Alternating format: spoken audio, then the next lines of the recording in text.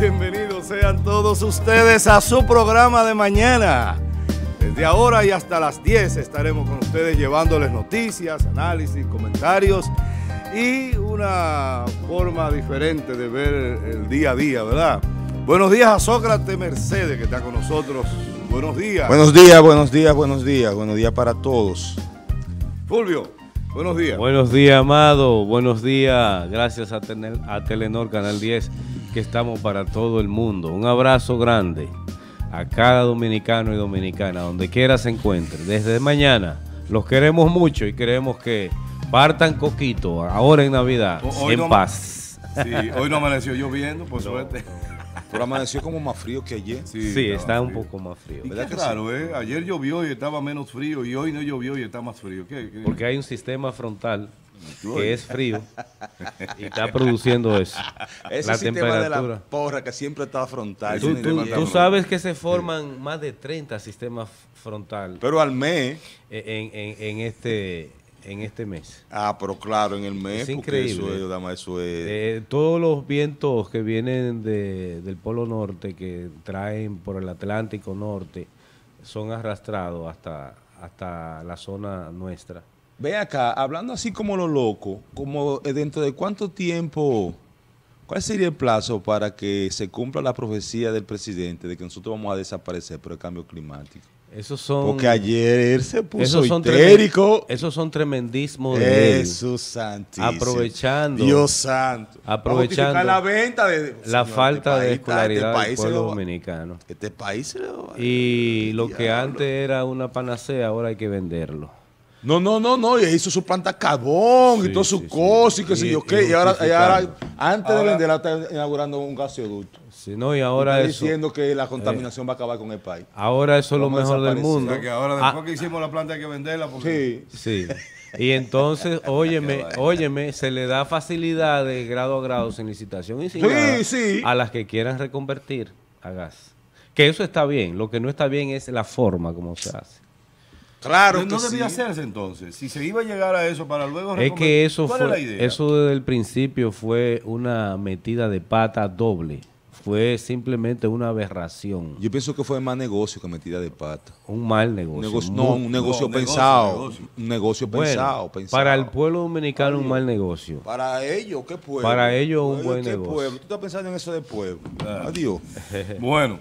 La pregunta del día, mis amigos, ¿confía usted en que la justicia dominicana aplicará la ley contra implicados en caso Odebrecht? Bueno, pero eso se ha dicho tanto. Esa pregunta es como media capicúa. Ya, ya ese juicio ni concita interés. Inclusive, ya ni sirve para novela.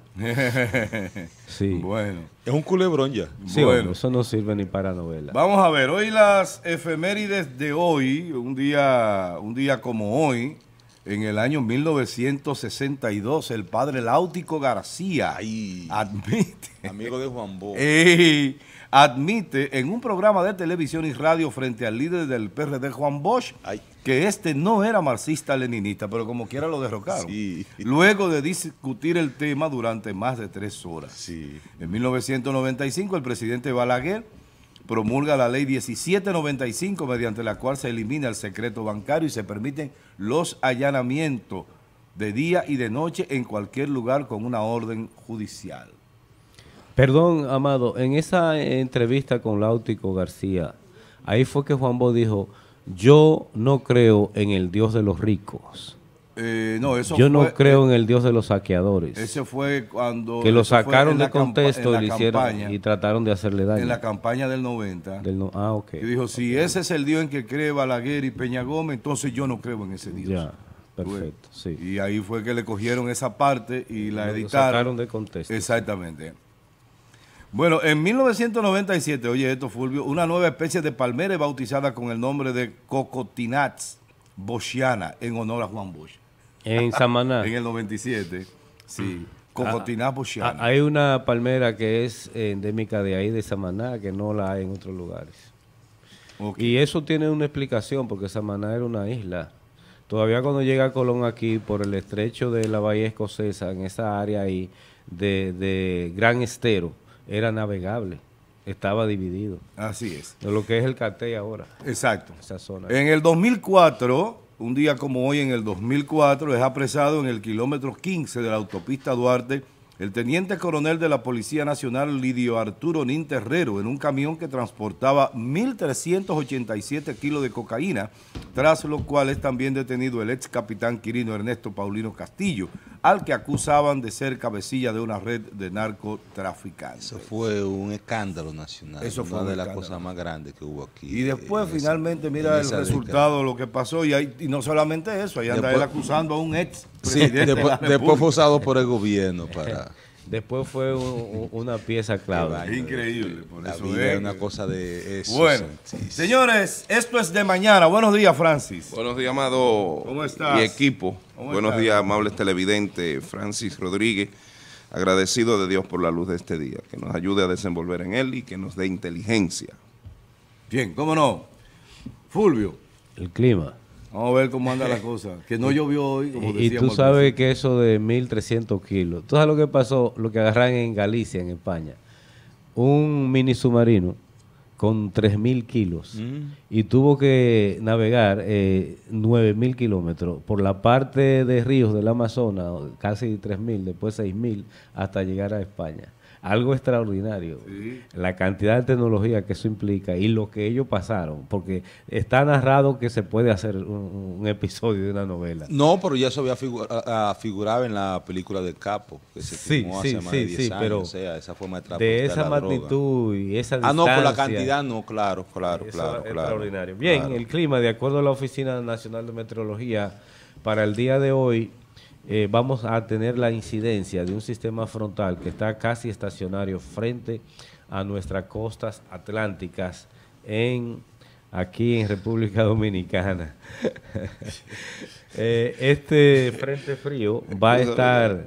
Me, empecé a reír fue porque un, un hermano y amigo me manda un mensaje de que le queda bien el, saquito crema. Eh, esta, este frente frío va a empezar a generar temperaturas más agradables, pero también eh, campos nubosos que van a seguir incidiendo en toda la región noreste, sureste, eh, en, el, en el Gran Valle del Cibao, Cordillera Central y la parte nordeste también. No como ayer tanto, pero sí los vientos del este siguen incidiendo también y están arrastrando estos campos que pueden producir aguaceros débiles. Así, de estos aguaceros que vienen y luego eh, vienen más moderados, a veces fuertes. Las condiciones eh, para hoy, para mañana, ya el sábado que viene retirándose el frente frío, lo que eh, nos llama que nos preparemos y nos abriguemos bien para evitar gripes y cosas de esas.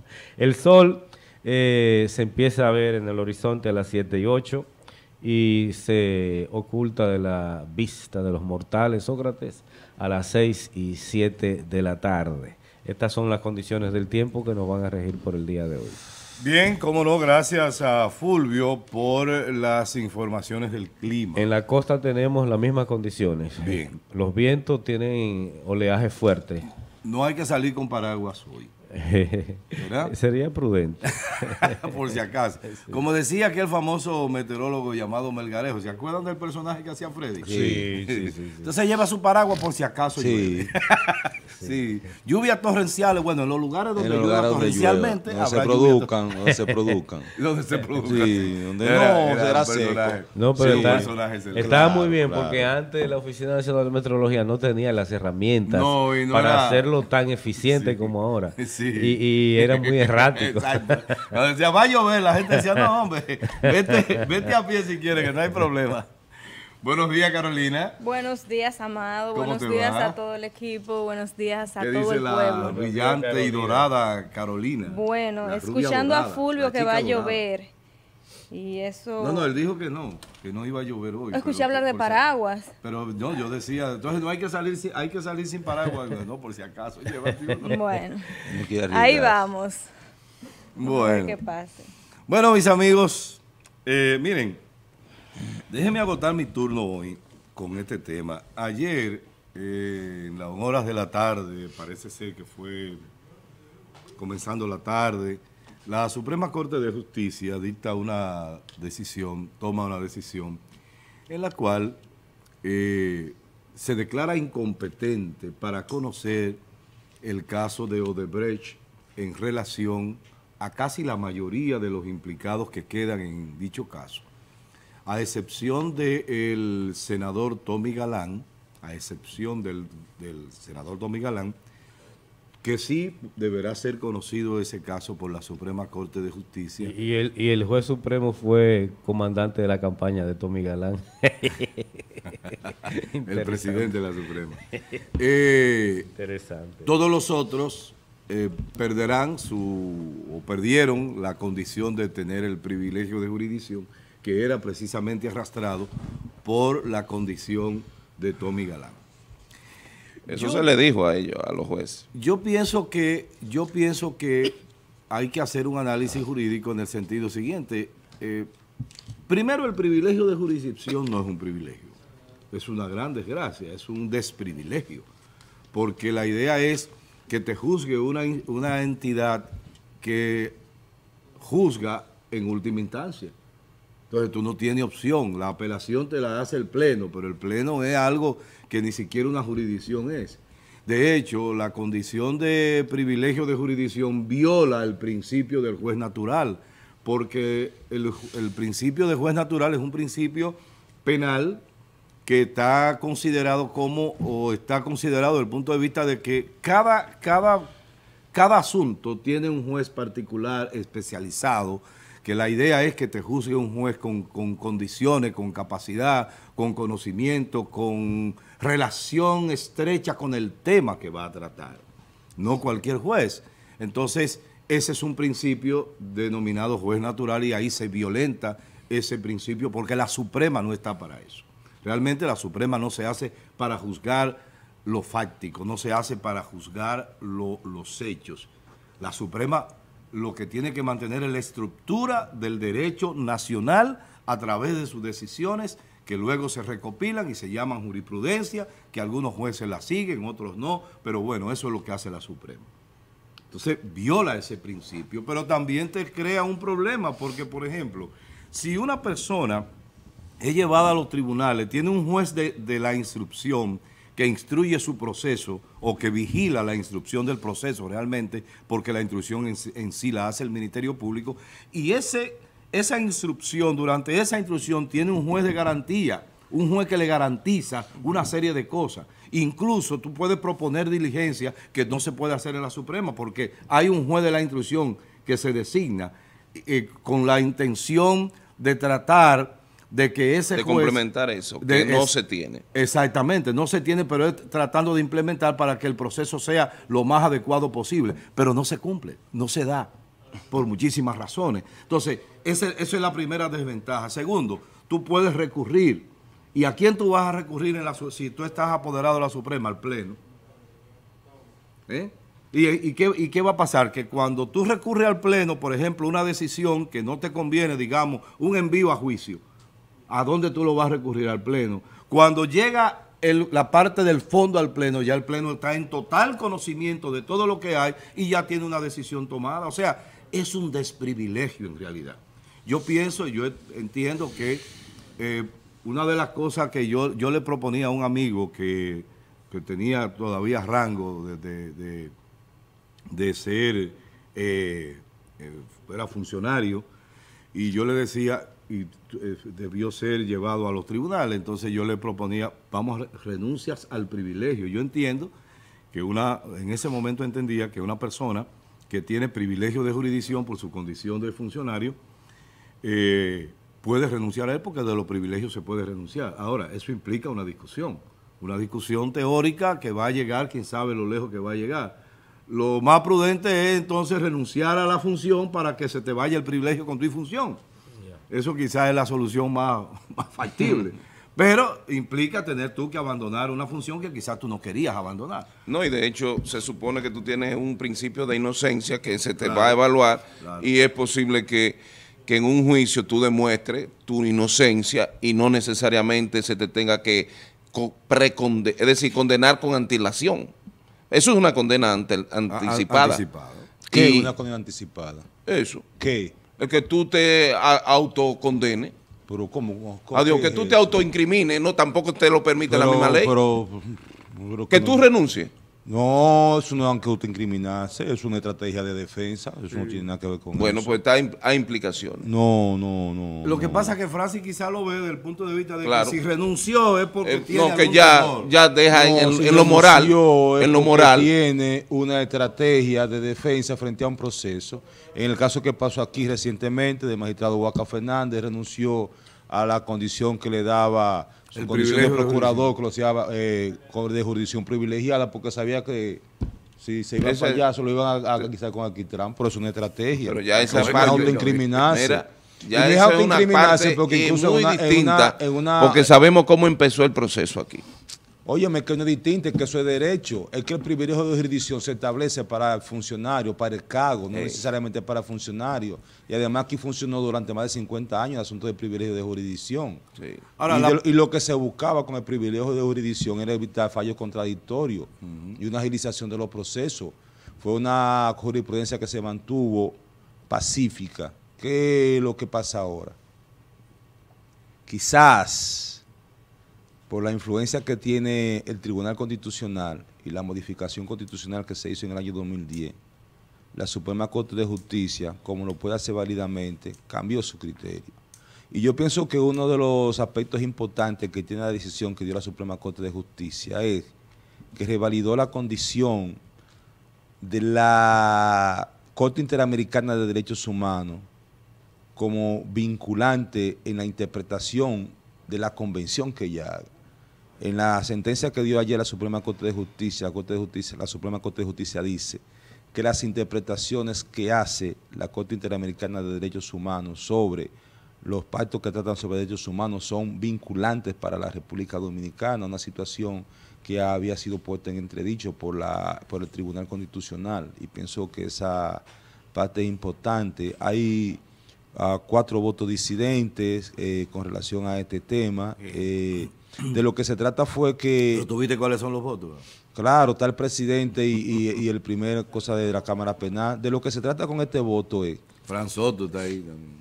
Que la mayor parte de las personas que no tienen el privilegio de jurisdicción van a ir a la primera Cámara Penal para que ella, a la Cámara Penal, para que ella decida un tribunal colegiado y la Suprema retuvo la competencia para jugar a Tommy Galán pero no como pleno, sino como segunda sala. Segunda sala, porque la segunda sala de la Suprema Corte de Justicia, donde está contemplada la Cámara Penal. Entonces, ¿por qué se tomó esa decisión? Porque en el año 2004, eh, la Corte Interamericana de Derechos Humanos... Ahí está Peregoy. Ahí es. no, está en la tercera, está en la ah, tercera. En el año 2004, la, Corte Interamericana de Derechos Humanos conoció el caso de Mauricio Herrera Ulloa contra Costa Rica, en lo cual Mauricio Herrera Ulloa fue condenado por difamación e injuria. Y apoderó la Corte Interamericana de Derechos Humanos alegando que él no tuvo derecho al recurso que prevé el artículo 8, eh, numeral 2, letra H de la Convención Americana de Derechos Humanos. Este recurso manda a que sea conocido por un juez diferente de que conoció el primer grado. Entonces, eso fue lo que dijo la Suprema Corte de Justicia ayer. Si nosotros como pleno conocemos de este proceso, hacia dónde se va a recurrir. No podemos nosotros recurrirlo. Y con relación a las personas que apartó del proceso, dijo que no hay ningún texto constitucional que prevea que las personas civiles comunes no tienen derecho a ser juzgados por esta jurisdicción privilegiada. En principio, a mí me parece que fue una buena sentencia, la podemos analizar posteriormente, pero tiene bastante ponderación, se hacen ah, eh, acopio de las jurisprudencias de la Corte Interamericana de Derechos Humanos, de la Convención Americana de Derechos Humanos. Lo más importante del comentario es eh, llevar a la gente a la idea de qué es lo que está pasando, porque ahorita va a aparecer mucha gente diciendo que esa decisión es una decisión para que el caso de Abre se fuña, para que, ¿tú entiendes? Es orientar. He abogados en esa línea, también he escuchado abogados en no, esa línea. No, no, no, yo pienso que es una sentencia correcta. ¿Por qué? Porque es que están de por medio los derechos de los participantes en ese juicio, de los imputados en ese juicio, independientemente de que una persona sea culpable o no de un hecho, que en principio no lo es porque la ley le permite esa, esa condición de inocencia previa, pues indudablemente que tiene derecho. Y si nosotros hemos hecho una nación basada en el derecho, es para cumplirlo. Entonces, tener a alguien que no tiene la condición de funcionario, que no es juez, que no es ministerio, que no es nada, en esa condición de tener un, de, ser sometido a un proceso en el cual limita su derecho, es una violación a la Constitución y a los derechos fundamentales de cada quien. Por ende, esa sentencia equilibra de algún... El único problema que le veo es el asunto de la posibilidad de sentencias contradictorias. Pueden haber contradicciones de facto. Ese es, el, ese es el gran problema que se presenta, pero desde el otro punto de vista yo la pienso correcta. Y como dice Sócrates, yo no he leído la sentencia a fondo, pero como dice Sócrates, tiene ponderaciones interesantes que sería bueno verla en su justa dimensión. Y le van a dar el 28 de enero en, en, en, extenso, porque tú sabes que lo que se dio claro, exacto. una, la parte dispositiva. Bueno, vamos a ver el mensaje de la Casa de los Salones. Señores, nos vemos en breve, no se vayan. Bueno, mis amigos, estamos de vuelta con ustedes aquí en su programa de mañana. Vamos a ver, buenos días, Tony. Vamos a ver cómo andan las cosas en el mundo deportivo. Buenos días, Tony. Buenos días, Amado. Buenos días a todo el equipo desde mañana. Un placer estar con ustedes una vez más acá en la mejor propuesta matutina. Eh, que tenemos en todo el nordeste y en todo el país y el mundo. Pero bien, eh, Iniciando con una noticia muy positiva para los franco-macorizanos, el equipo de los Piratas de Pittsburgh, pues, eh, firmó al joven franco-macorizano Rayson Santos. Este muchacho que cumple ahora 18 años, recibió la firma del conjunto de los Piratas. Ahí está su familia, junto a él, nuestro amigo el profesor Jesús Santos y sus hermanos, también eh, su madre, le acompaña a este jovencito que el equipo de los Piratas de Pittsburgh es un lanzador derecho eh, con bastante estatura, este joven, y sobre todo que esperemos que pueda desarrollar su potencial. Lo importante es que pudo entrar en, dentro de esta organización y que pueda pues seguir desarrollando su potencial. Le auguramos muchos éxitos eh, a este eh, joven Rayson Santos, hijo de nuestro amigo y hermano, el profesor Jesús Santos. Así es que vamos a esperar lo mejor de él y que en unos años, cuando dé el salto ya al profesionalismo, eh, pueda eh, jugando por acá por la pelota invernal de República Dominicana. No importa con el equipo que sea, con el equipo que lo escoja.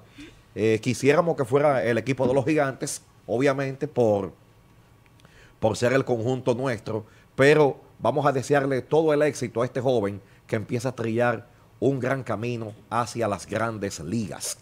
Eh, en otra información de grandes ligas, Abisail García, el jugador venezolano, pasó a firmar un contrato con el equipo de los cerveceros de Milwaukee por dos años. El acuerdo contempla una opción para el 2021. Este jugador que inició su carrera con el equipo de los Medias Blancas de Chicago, luego lo vimos con el equipo de los Reyes de Tampa, eh, pues se inscribe ahora con el conjunto de los cerveceros de Milwaukee y esperamos que pueda sacarle mucho fruto este gran jugador que eh, tiene un bajo perfil, pero es uno de los jugadores que resuelve, puede conectar entre 25 y 30 cuadrangulares por temporada. Abisail García. Y una información suelta a nivel de grandes ligas, el equipo de los Dodgers, que tiene en la mira a Francisco Lindor, el campo corto boricua, eh, y también el equipo de los Padres de San Diego, yo entiendo de que el equipo de San Diego eh, se está arriesgando un poco al contratar a un shortstop de la estirpe de Francisco Lindor cuando ya cuentan con un Fernando Tatis Jr. que tiene todo un futuro por delante dentro de esta organización. Y obviamente firmar a ese campo corto boricua le va a salir por mucho dinero a ellos, que yo entiendo que pueden invertirlo en la contratación de dos lanzadores que sí le hacen falta a esa rotación del equipo de los padres de San Diego. Eh, pasando a la pelota invernal dominicana, las Águilas Ibaeñas celebraron su pase a la serie semifinal de semifondo con ese partido que ellos ganaron en San Pedro antes de anoche. Lo que sucede es que las imágenes no las teníamos porque fue algo que se celebró dentro del clubhouse Ahí ven ustedes la celebración a Ronnie Rodríguez, conocido como el felino de Mao. Y entonces Carlos Gómez, este veterano UFIL, tuvo algunas palabras para sus compañeros. Así es que vamos a ver si tenemos eh, el momento de las palabras de Carlos Gómez. En todo este tiempo que yo tengo como profesional, nunca, nunca he visto un equipo tan unido, nunca he visto tanta, tanta integridad. Aquí nadie es novato, aquí nadie es veterano, aquí todos somos iguales y eso es lo que hace este equipo especial. Ya dimos el primer paso, ahora que viene el flow de los ibaeños, porque nosotros somos el final.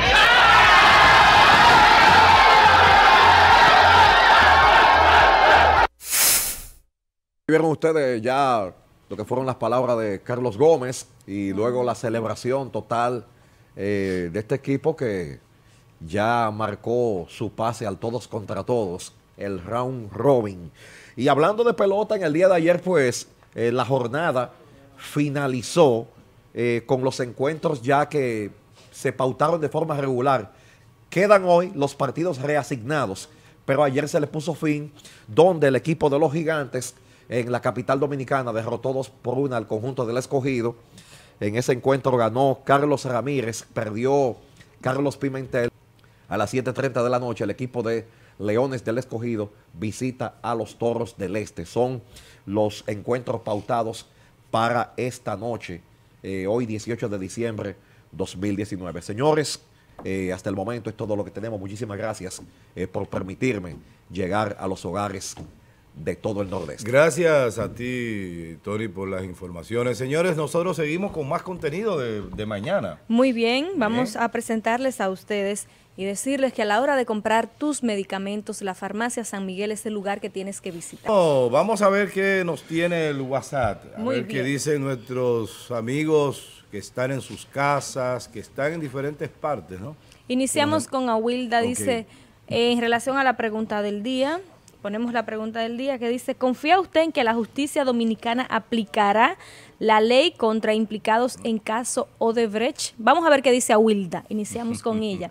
Dice ella, bueno, si descubren vida en Saturno, se eliminan los depósitos plásticos de los...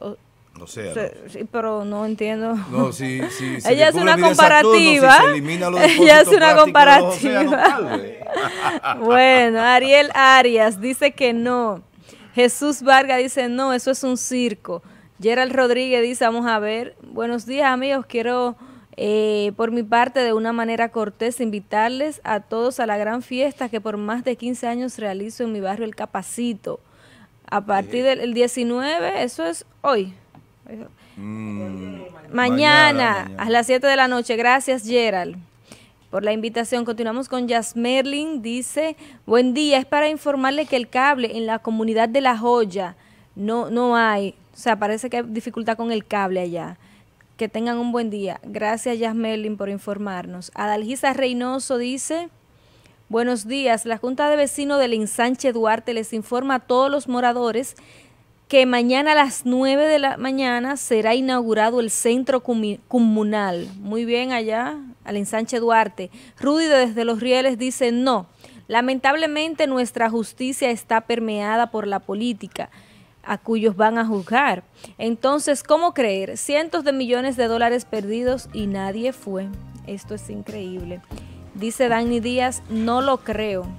Ahí está el contacto con los amigos televidentes. Bueno, mis amigos, vámonos a la pausa. Regresamos en breve. No se vayan. Esto es de mañana.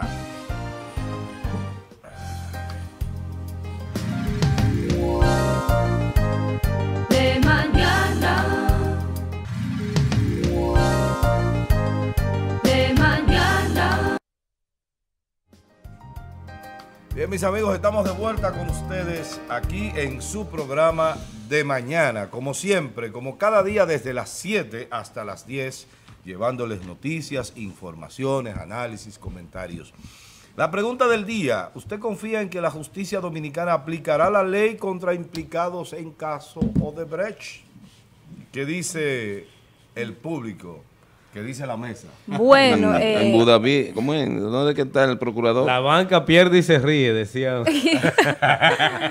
¿Dónde está el procurador? En, los países árabes, en los Emiratos árabes. ya él dio el veredicto de que se han condenado unos 19 funcionarios. Que se está atacando la corrupción y la impunidad. Imagínate. Dijo por allá. Imagínate. Ayer lo ponían como el chiste del día.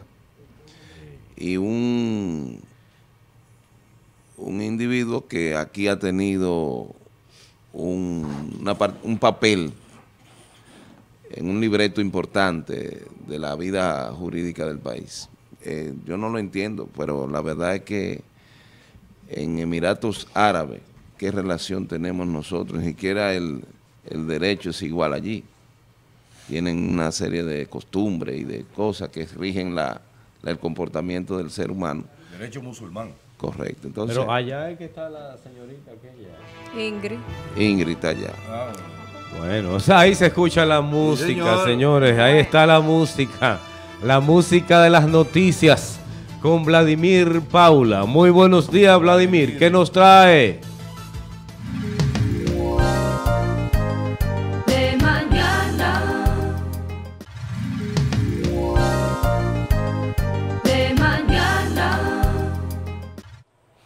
Hola, ¿qué tal? Buenos días. Buenos, Buenos días, días. Vladimir. Buenos ¿Cómo le amanece? Dicen en el campo. ¿Eh? Bien, bien, bien, bien. Esas son eh, eh, frases típicas del campo. La gente siempre a lo lejos se saludan, le dicen, ¿cómo le amanece? es algo bonito. Comadre y el cafecito. Wow. Compadre y el cafecito. Wow, qué lindo, qué cosa más linda. Y llegaba el, el- llegaba el tipo vendiendo pan en una funda de, de- de tela Wow. que decía harina primavera. Vendiendo. Doctor, pues, usted se fue para el tiempo, pero suyo, No, suyo. no, pero Uh. Sócrates se acuerda de eso. ¿De? Iba casa por casa el panadero vendiendo el pan. ¿En una funda de qué, doctor? En, de- de- en- en una, funda de esa de, de- de De tela. harina. Wow. Que era de harina, porque antes la harina no venía en, en saco de papel ni de. Ni de Si no en té. Sí, no, venía en una funda de tela, en un saco de, tela. tela. Wow. La gente lo cogía luego para hacer ropa. Se reciclaba. ¿Cómo ¿Eh? se llamaba eso? Le decían, le decían un nombre a ese tipo de ropa. Sí, sí, sí. Macario. Tela, sí, algo así. Recordar es vivir, Sí, doctor. señor.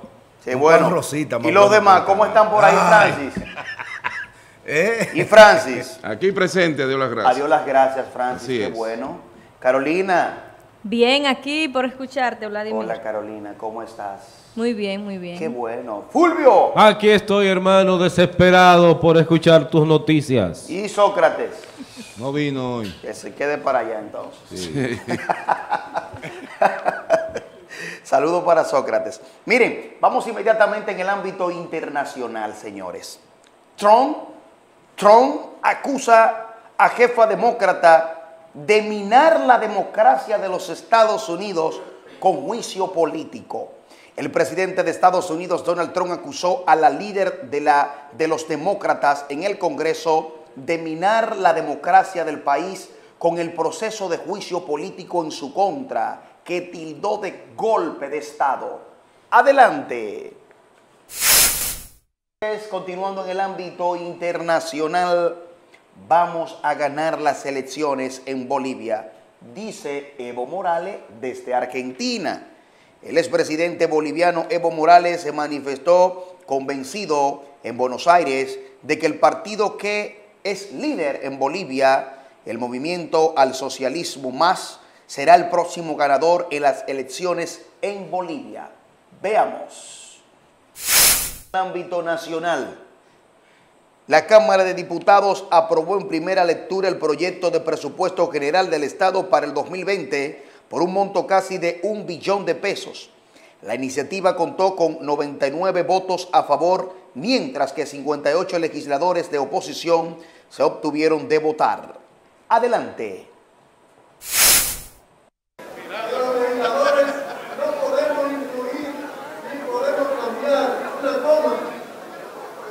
que no podemos incluir ni siquiera una esquina en nuestras demarcaciones correspondientes, porque el presupuesto finalmente llega totalmente definido. que fundamentalmente para el tema del transporte, que ha sido y es uno de los principales dolores de cabeza de nuestro país, este presupuesto tiene partida que nosotros aspiramos. una serie de vicios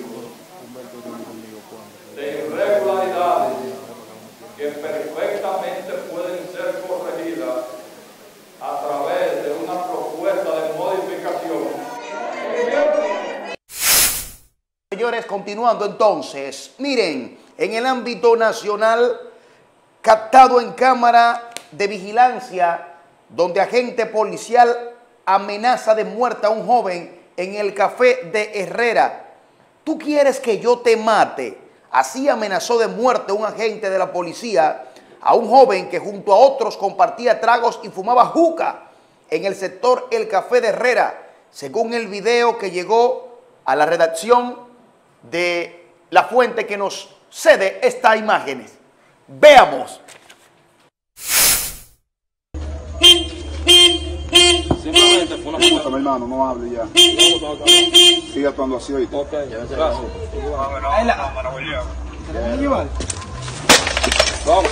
Ahora, que yo te mate, dime. Tú eres Dime. ¿Eh? Dime, prende el motor, tú eres tigre. Cuidado, cuidado, cuidado. Parame, parame, parame. te voy a reventar, tú eres tigre. Cuidado, cuidado, el motor, el motor. Tú eres tigre, dime.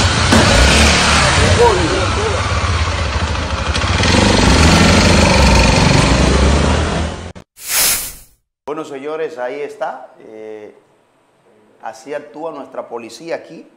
Y ya ustedes ven. Increíble, señores.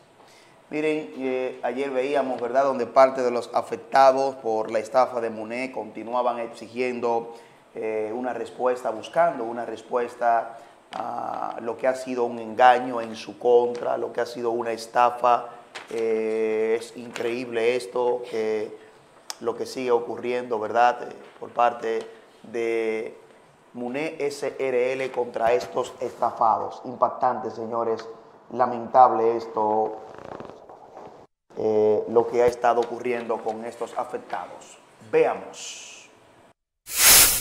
Mira, hoy vinimos este pequeño grupo de personas aquí a, esta compañía, a esta oficina de MUNE, para exigirle a este supuesto gerente que tienen aquí, que llamen a aquellos los ejecutivos de Santo Domingo y nos den una explicación, porque esta gente se han ido a una ley, que yo le digo la ley de la impunidad, porque esto es jugar al tiempo. Mira cómo ya nosotros no podíamos pasar, vamos a pasar esta Navidad por culpa de esta gente que han hecho un crimen aquí en San Francisco de Macorís, con el dinero de muchos ahorrantes, con la forma, robándole la forma de vida, de vida y el futuro de, de, cada, de muchos ciudadanos aquí en San Francisco de Macorís. Bueno, señores, miren, las autoridades de la provincia de Duarte se reunieron ayer para planificar, organizar lo que será el operativo de Navidad. Hablamos del 24 y 25, Nochebuena y Navidad. Así que el comité de Prevención, Mitigación y Respuestas Inmediatas de la provincia de Duarte se reunió en el despacho del gobernador o en el salón de actos de la gobernación, mejor dicho, que preside Luis Núñez. Adelante. Decir, que estaremos pendientes en todo el proceso de lo que pase en, en la provincia de Duarte. Tenemos un equipo un equipo de funcionarios, ¿me entiende?, entregados, que sabemos que, lo van a hacer con toda la interesa. Empleando el personal del Ejército de la República Dominicana en las actividades de seguridad y prevención que se van a hacer en esta provincia. Estaremos trabajando junto a la policía, a la defensa civil, DGCET y cualquier institución que necesite nuestro servicio. Contamos con un gran contingente que está trabajando a tiempo completo eh, para garantizar lo que nos corresponde, que es la seguridad vial y el asuntito de los accidentes de tránsito. Y estamos dispuestos, la Policía Nacional, a dar todo el apoyo posible, con la cantidad de hombres que sea necesario, para que esta Navidad y este, este operativo, Navidad segura, por la vida, pase lo más tranquila posible.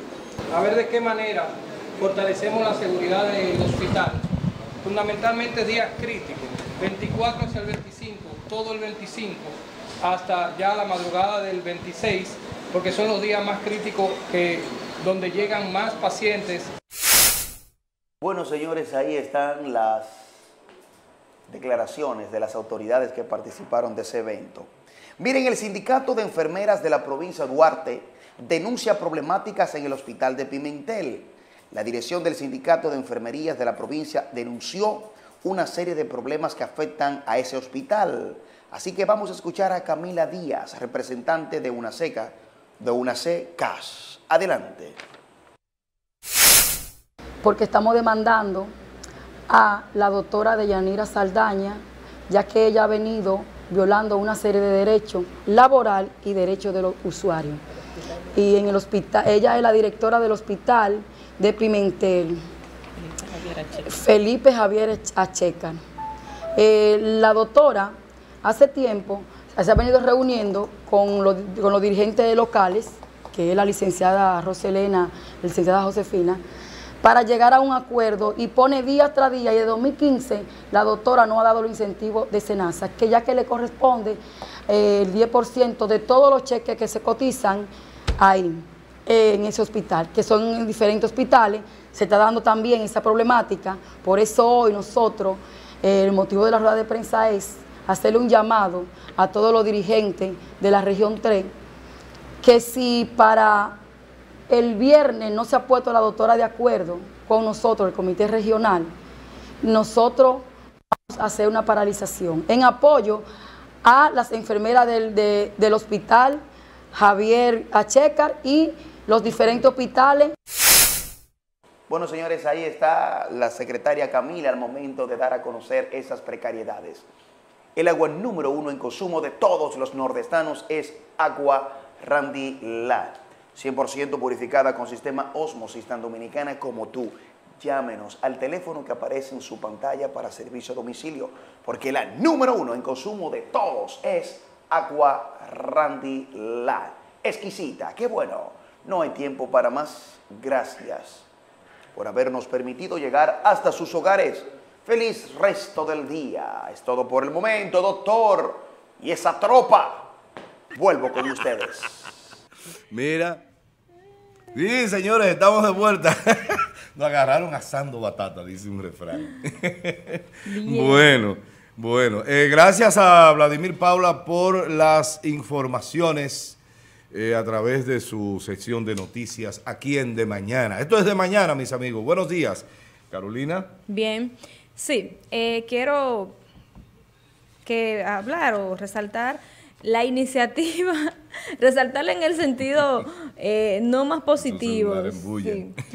sí, sí, nos sacan de contexto a veces. Pero miren, ya inició la entrega de canastas o de las famosas cajas navideñas que según el plan social de la presidencia llega a los más necesitados. Siempre he tenido, vamos a quitar el retorno acá, por favor, siempre he tenido eh, nuestras críticas con estos temas de esas medidas populistas eh, ciertamente no es propio. Que eso se había quitado.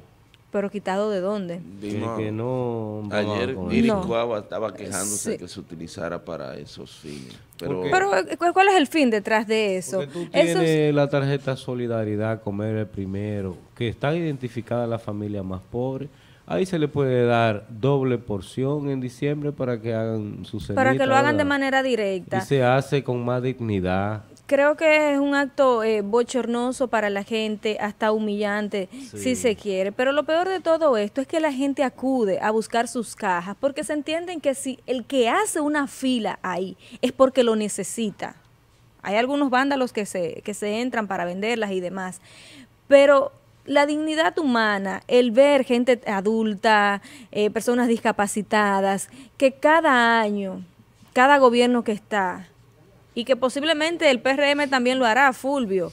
Porque es que... Yo, yo, tú sabes, sí, porque tú sabes que, políticamente tal vez lo haga, pero yo no estoy de acuerdo. Ok, bien. Tú sabes, porque se ve denigrante. Entonces, eso es lo que deberíamos nosotros de, de, de plantear y buscar que la gente eh, no decirles que no acudan, porque imagínense usted, el que no tiene para comer o el que se le dificulta, no solo en Navidad, casi todos los días del año, que no tiene ese nivel de ingreso, que desde el Estado no se han trabajado políticas para que la gente no tenga que andar mendigando, buscando una caja supuestamente para que tengan una cena digna en Navidad. Pero ¿a qué le llamamos o a qué le llama eh, quienes dirigen el plan social de la presidencia?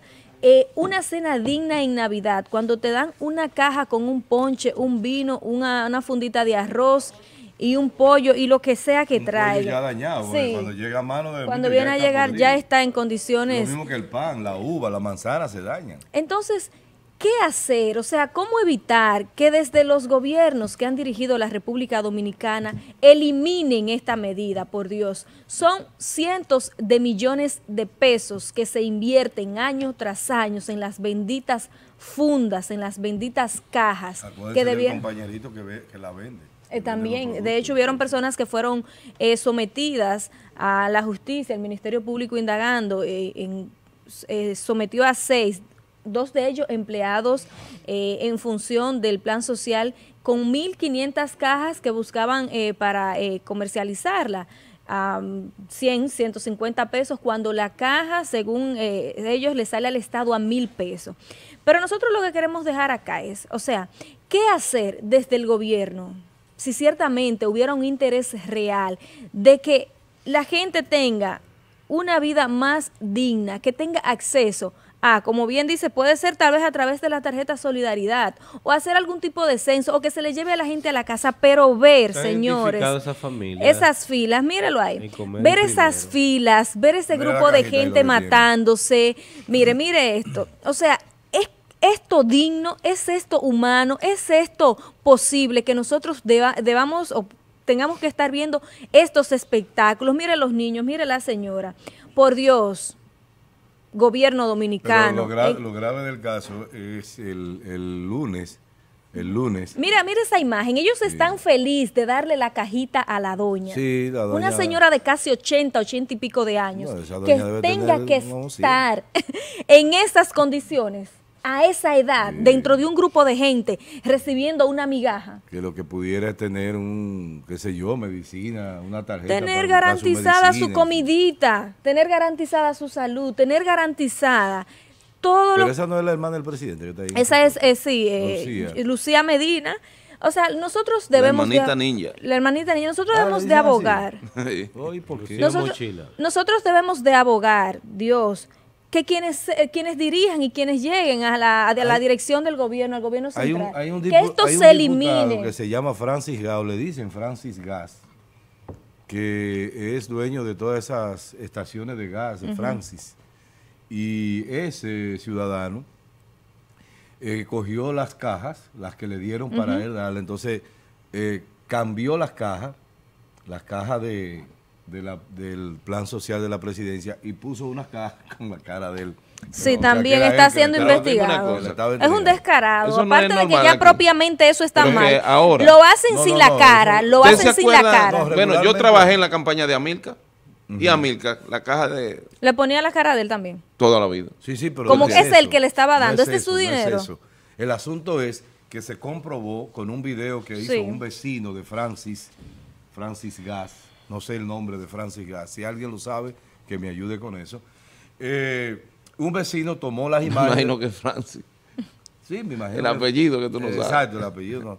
Eh, yo, yo o sea, alguien tomó las imágenes de él sacar, cogiendo la caja de la presidencia, esa caja que tuviste ahí. y él reempacándola en su caja. Exactamente. Pero que eso lo han hecho todos los políticos. Ah, bueno, yo no sabía. yo pensaba que la caja que Amilcar eh, entregaba con su cara eran cajas compradas por él. No, se supone que del plan de la presidencia. Ah, Mire, lo que nosotros... Todo eso fluye del plan social. Ok, no sé Y además el plan de la presidencia que ha dado candidato a diputado ya. Es decir, se, tiene, se usa para, para que lo vean como viable. No, pero hay maldad en tus palabras. No, no, no, no, no. Tú estás hablando de Mildred. Mildred ah, oye, eso que yo hablé de Mildred. Pero ven acá, ¿y de quién tú estás hablando? Pues somos, no somos muchachos. Pero, oye, Mildred ha sido una persona que ha sido siempre dada al servicio. Y toda la vida política. Toda la vida, ¿eh? Política. No, no, ahora que está metida política. ah, bueno, entonces... Lo que te quiero decir es que si tú mencionas eso, tú estás mencionando a Mildred. No, no, ah, yo no le he mencionado. Dicho, excepto Mildred para que no, no, no, no, por no, no, no, no, porque, óyeme una cosa, así pasó en otros. No la puede meter en, en, ese saco ni la puede acusar de eso, porque toda la vida ella ha hecho eso. Con su programa ella hacía en, en verano un campamento para niños pobres, ella sola, abrazo. Yo, yo lo sé, pues yo trabajo. Pero ven acá, trabajo conmigo. Una cosa, ¿cuándo yo mencioné a Mildred? No la mencionaste, pero el hecho de decir ¿A quién eso tú te refieres entonces? No, no, no, no. Hay, del plan de la presidencia, hay varios candidatos a diputados. Pues te estoy diciendo. Ahora, que ella esté dentro de eso, pero está a nivel nacional. Debiste haber hecho la excepción y punto. Para no, no, no, yo no le hago ninguna excepción porque de ahí es que viene. No, no, no. no si no tiene el contacto con la gente. Eso es una maldad tuya, producto de que tú estás bueno, bueno, político y ella te Bueno, bueno, amado. Es política barata. Eso es política barata. Eso es chisme tuyo barato. No, no, no. Mira, volviendo Porque tú no puedes poner en mi palabra. a una gente que ha demostrado escúchame, todo el tiempo. Yo defiendo a una gente que ha demostrado váyase todo el usted con ella. que este servicio váyase es lo que usted estoy con defendiendo. Ella. Váyase yo me voy con quien me dé mi maldita gana. Pero no me mande ahí con nadie. Qué pena que tú te hayas molestado Déjate con de esto. No, no, claro. Qué pena que tú te hayas molestado. porque tú no quieres aceptar la realidad. Ya ella te tiene como su principal defensor aquí. No, no es defensor. Yo he sido siempre defensor de Pusiste el nombre de mí. Yo defiendo lo que me dé mi maldita gana. Yo no, a mí nadie me dirige. Estoy. hombre. Usted ¿Qué, es lo que tú, ¿Qué es lo que tú estás hablando? ¿Qué es lo que está hablando tú, amado? No, hombre. Tú me burro. Tú eres que está hablando. Vamos a continuar porque, vamos a continuar porque que es mi aquí espacio, la política Francis, se ha usado con lo que se da. ¿Y la has usado tú también o no, la has usado? ¿Y qué, ¿Y qué beneficio tengo? Vamos a ver, buenos Porque días. aquí hay que dar. Buenos días, Lo que Francis. te estoy diciendo es que aquí hay que dar. Y con el, y con el DAO es que se ganan Hello. esas cosas. Aló, buenos días. Sí, buen día, caballero. Adelante. Oiga eso. Qué defensa tan estúpida. Estúpido eres tú, Francis. a eres un estúpido, Francis, amado, Yo no te he ofendido. Claro que sí, me ha dicho malas palabras y de todo en el aire. Vamos a escuchar Y me ha dicho que eso son vainas baratas. Francis, por favor, amado, buenos días. ni responsabilidad. Y muy respeto a tu compañero de trabajo. ¿Cómo yo voy a venir Vamos a hacer una pausa, vamos a hacer una pausa, vamos a hacer una pausa. Vamos a hacer una pausa. Vamos a hacer una pausa. Pausa.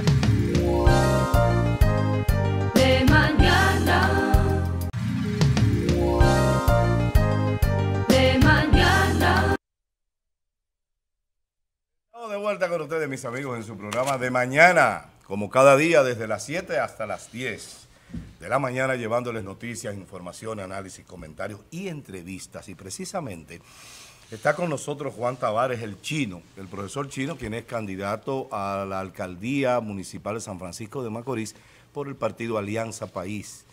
Y aliados, ¿verdad? ¿O no hay Aquí no hay aliados Ahí no hay aliados, ok. Pero por el partido Alianza País. Así es que con el chino vamos a conversar acerca de su proyecto. Ya el chino había estado por aquí, hizo un planteamiento en, una, en un momento, pero eh, ya después de la proclamación, eh, por eso está lo hemos invitado nueva vez. Chino.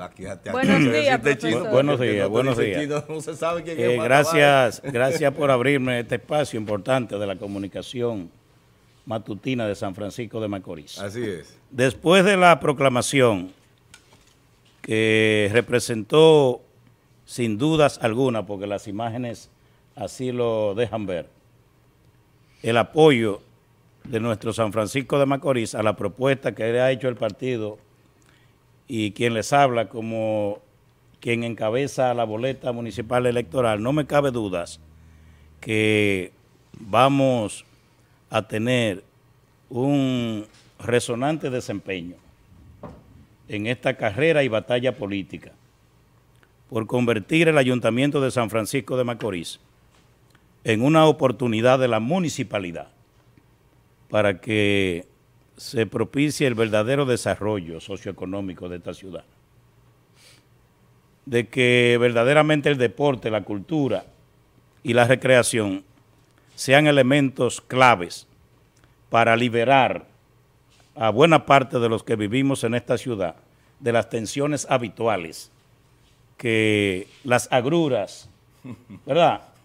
Los malos ratos, que políticas extraviadas que históricamente se han implementado generan en la psicología de la gente.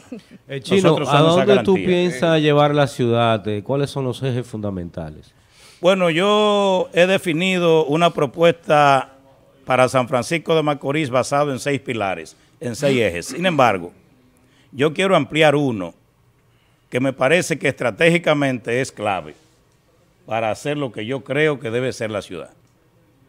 Y es que el que ha podido leer con algún detenimiento mi propuesta, observó que hay un epígrafe que encabeza dicha propuesta, que habla, que es una frase del insigne educador Andrés Bello, que la comunicación es clave para construir la democracia. y para incluir al ciudadano en los procesos de toma de decisión. Entonces, ¿por qué yo digo esto? Porque en una gestión nuestra, el ayuntamiento será el centro catalizador de procesos importantes de comunicación que hagan que el poder municipal se articule con el poder central y con los que representan a Macorís y a la provincia de Duarte, para que toda vez que esta ciudad precise de inversiones importantes, que el ayuntamiento por sí mismo y desde sus ingresos no puede generar entonces esa comunicación asertiva, eh, madura, reflexiva, acerque a todos los actores políticos en la definición de una especie de plan estratégico de desarrollo de San Francisco de Macorís, sin sectarismo, que es lamentablemente lo que ha empobrecido la política aquí. Básicamente la me voy a circunscribir a, a preguntarte, ¿cómo piensas dirigir el ayuntamiento y sus responsabilidades habituales que son propias del ayuntamiento, independientemente de las innovaciones que tú estás planteando, porque serían innovaciones, la comunicación, eh, el tema, pero cementerios, parques, mercado, ¿qué haría un ayuntamiento tuyo? Eh, mira, tú sabes que yo tengo una ventaja sobre cualquier otro candidato alcalde y es que tengo una tradición y una cultura, ¿verdad? Los aliancistas tenemos una tradición y una cultura de respeto a la ley y de respeto a las instituciones. Nosotros iremos al ayuntamiento a hacer justamente lo que la ley prescribe y lo que prescriben las resoluciones y las leyes, ¿verdad?, reglamentarias de esa institución que se llama Cabildo. Pero hay que hacerte una enmienda porque la cultura que tú dices todavía ustedes no han estado en ninguna función pública como partido, como organización. Bueno, como para partido. Crear una cultura. Como partido sentido. y organización. Habría que ver a partir de ahora, en caso de que se ocurra tu designación, tu, de, tu elección, si realmente se cumple con la ley, como tú dices que los aliancistas hacen. Bueno, hay un, hay, hubo un psicólogo austriaco llamado Alfred Affler, que estableció con mucha propiedad que como sean tus pensamientos, serán tus acciones. Sí. Y entonces yo no he tenido... Pero eso no es verdad. Claro que es verdad. No, claro que es verdad. Claro que no. Claro que es verdad. Porque... Lo que más se discute dentro de la psicología, dentro de la filosofía, es que no hay texto sin contexto. Hay muchos filósofos y psicólogos que han tenido una vida o un pensamiento expuesto en un libro que se distancia de lo que ellos vivieron. No, pero eso, la eso mayoría no. de los políticos en la República Dominicana piensan y actúan de forma diferente. La mayoría de los seres humanos piensan y actúan de forma diferente. ¿Tú sabes por qué? Los seres humanos lo que tienen, chino, es una máscara que lo obliga a comportarse de una manera determinada para ser aceptado por la sociedad, pero generalmente las personas no expresan lo que sienten, Esa es la visión expresan lo que creen que los otros quieren oír. Esa es la visión tuya. Sin Ah, embargo, pero si tú- si tú vas a demeritar, entonces tú- es la visión de no, no, pero yo no, está bien. Yo te respeto que tú tengas la visión que quieras tener sobre la vida. Porque hay una cuestión que se llama filosofía. Lo que pasa es que al hacer el planteamiento de filosofía y Adrien, sí. Sócrates tiene una concepción de que derrota esa concepción que ya fue No, pero que eso es, oye, lo que esa, esa visión que él plantea, que no tiene necesariamente porque la ciencia es ciencia. Y la ciencia es ciencia porque somete de manera sistemática y permanente a juicio crítico lo que ocurre en la historia, en la vida, en la realidad. Ninguna teoría, y entonces uno de los grandes aportes de Marx fue eso. O sea, el único que de alguna manera desvistió las ideas kantianas y platónicas que son que vienen de Platón fue Carlos Marx que dijo que en la vida todo era relativo. Y el capitalismo, desde esa visión... Pero la relatividad no Pero es un ta- asunto de Carlos Marx, chino, espérate, pero que- espérate. que, que estamos teorizando Pero- sobre el No, no, aire. bien, un Es momento, que- que déjame, no, déjame, anda, diablo. eh, esa teorización la vamos a hacer tú y yo en otro momento. Yo vine aquí a hacerle saber a San Francisco de Macorís Sí, es importante. por qué yo soy la mejor oportunidad que tiene San Francisco. Entonces, con relación a la pregunta de Francis, ciertamente nuestro partido no se ha ejercitado en la administración de ninguna institución del Estado. Sin embargo, eso no quiere decir que quien está apuntalando la propuesta electoral de, de Alianza País no la haya tenido.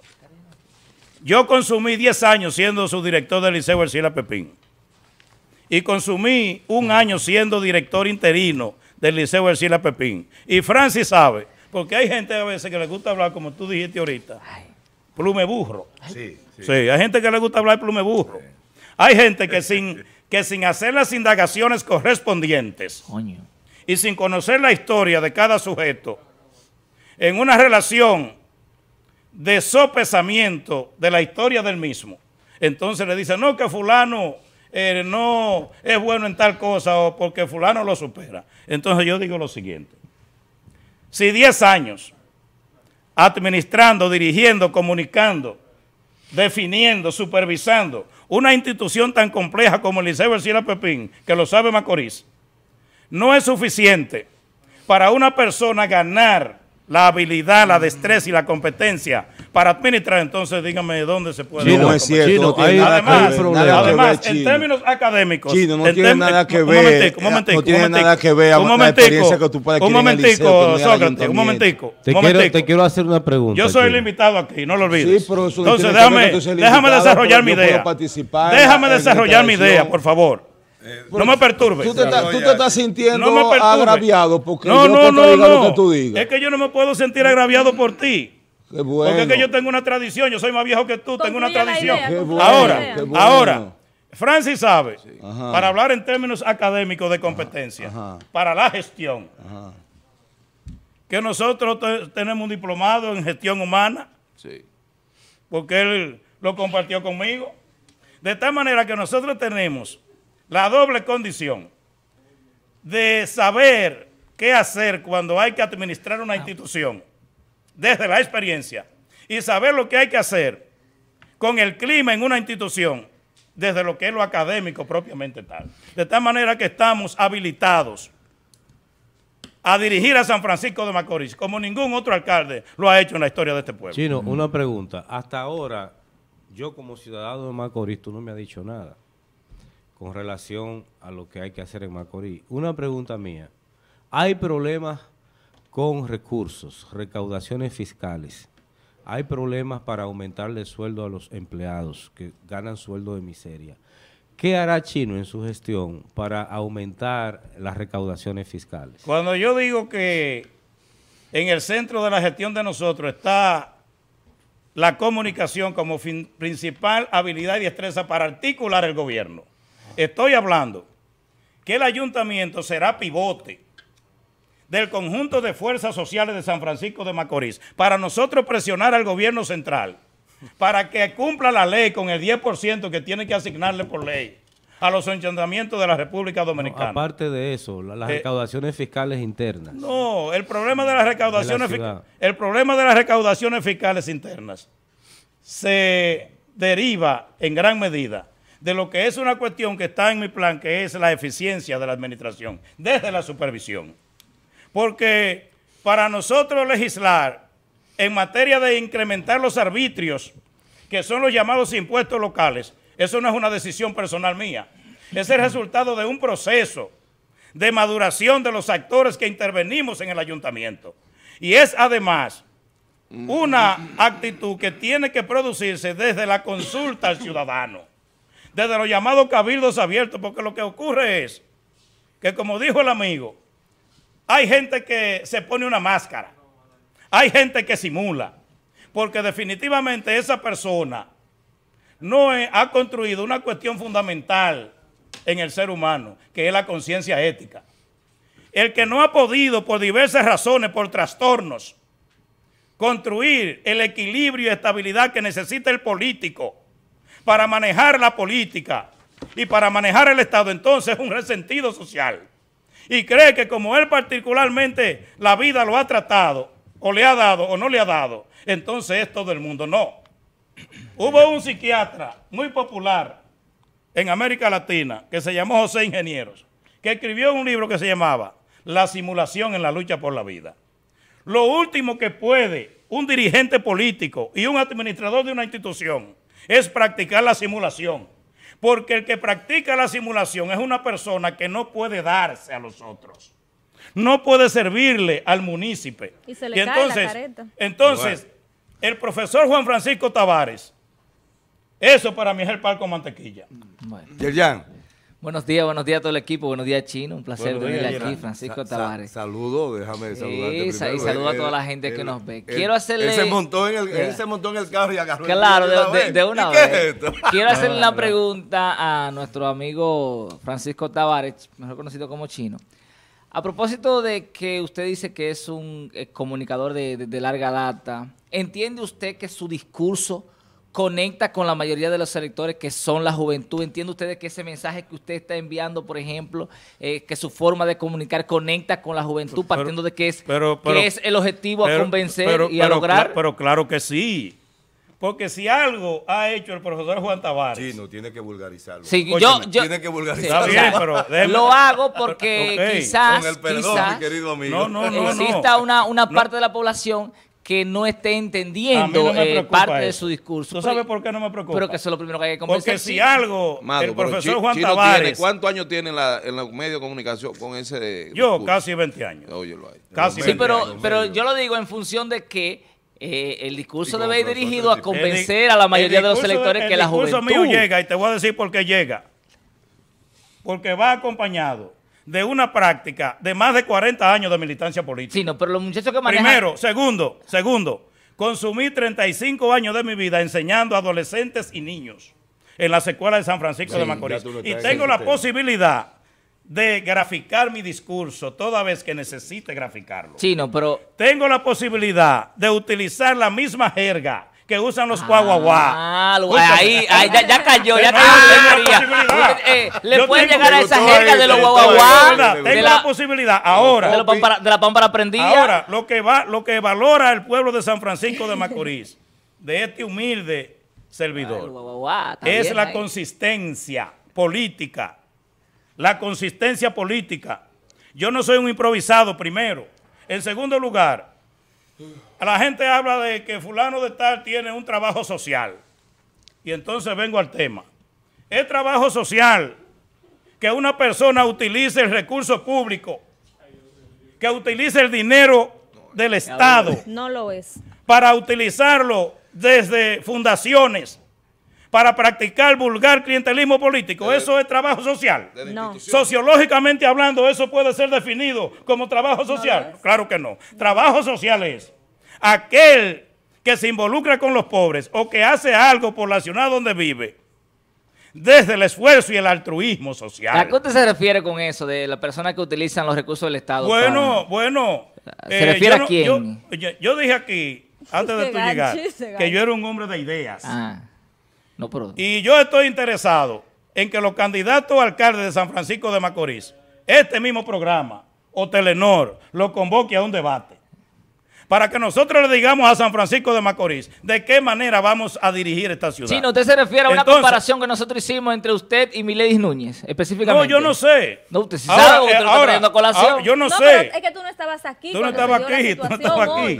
Yo No, no, no, sé. tú sabes de que yo. Yo no sé. Lo que quiero decir es que cuando se definió la Alianza para el Progreso en el 1961 como política para contrarrestar lo que ellos entendieron el Pentágono en ese momento, la política de penetración del comunismo en América, de alguna manera, sociológica e históricamente se inauguró una política que se llama asistencialismo. Chino. Y lo- Y lo- el ¿cómo van a entender asistencialismo, que es dádiva para ganar clientes y para engatusar voluntades y para comprar voluntades, la historia misma ha Chino, revelado que no es eficaz No te va a enfrentar. para resolverle los problemas En a la tu, gente en tu pobre. campaña no te va a enfrentar tú a ese clientelismo, a ese populismo. Yo no tengo cultura de eso. Chino. Ni estoy tentado. Y la población le gusta eso. No, no, no es que le guste. A la población hay que reeducarla. No lo olvide. Que la educación se Pero desde el poder chino. No, desde el poder no. Desde donde sea. Yo. Desde de donde sea. Desde donde Chino. sea. Lo que pasa es que aquí hay muchos periodistas. Por ejemplo, ¿cuánto gana el eh, Pachá? oye. ¿A cuánto le dan al Pachá? Dos millones. Para que defienda el penco. Y a. Danilo Medina. Y la corrupción. Chino, Chino, déjanos hacer la entrevista. Pero hay que llegar al poder chino. Yo, yo entiendo que hay que llegar al poder No, no, desde ¿qué el poder hacer la no transformación. No, claro, chino. Chino. Yo entiendo que hay que llegar al poder y desde el poder hacer las transformaciones de afuera no se puede. No, pero está bien, está bien. Es bueno está que tú bien, te sentado ahí. bien. sabía que te iba a afectar No, tanto. no, No, no, no, está bien, está bien. Yo soy un tipo porque no me afectan las cosas.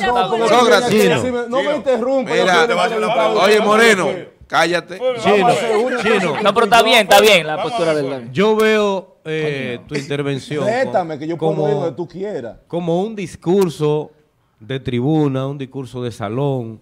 Yo quisiera saber qué hará Chino en, en asunto de arbitrio, cómo va a cobrar. ¿Qué hará Chino en asunto de tránsito y asunto de espacio Bueno, público? yo ¿Qué hará Sí, Chino, ¿qué hará Chino en asunto medioambiental? Y palo guau, guau, guau, ¿Hasta ¿qué va a dónde puede.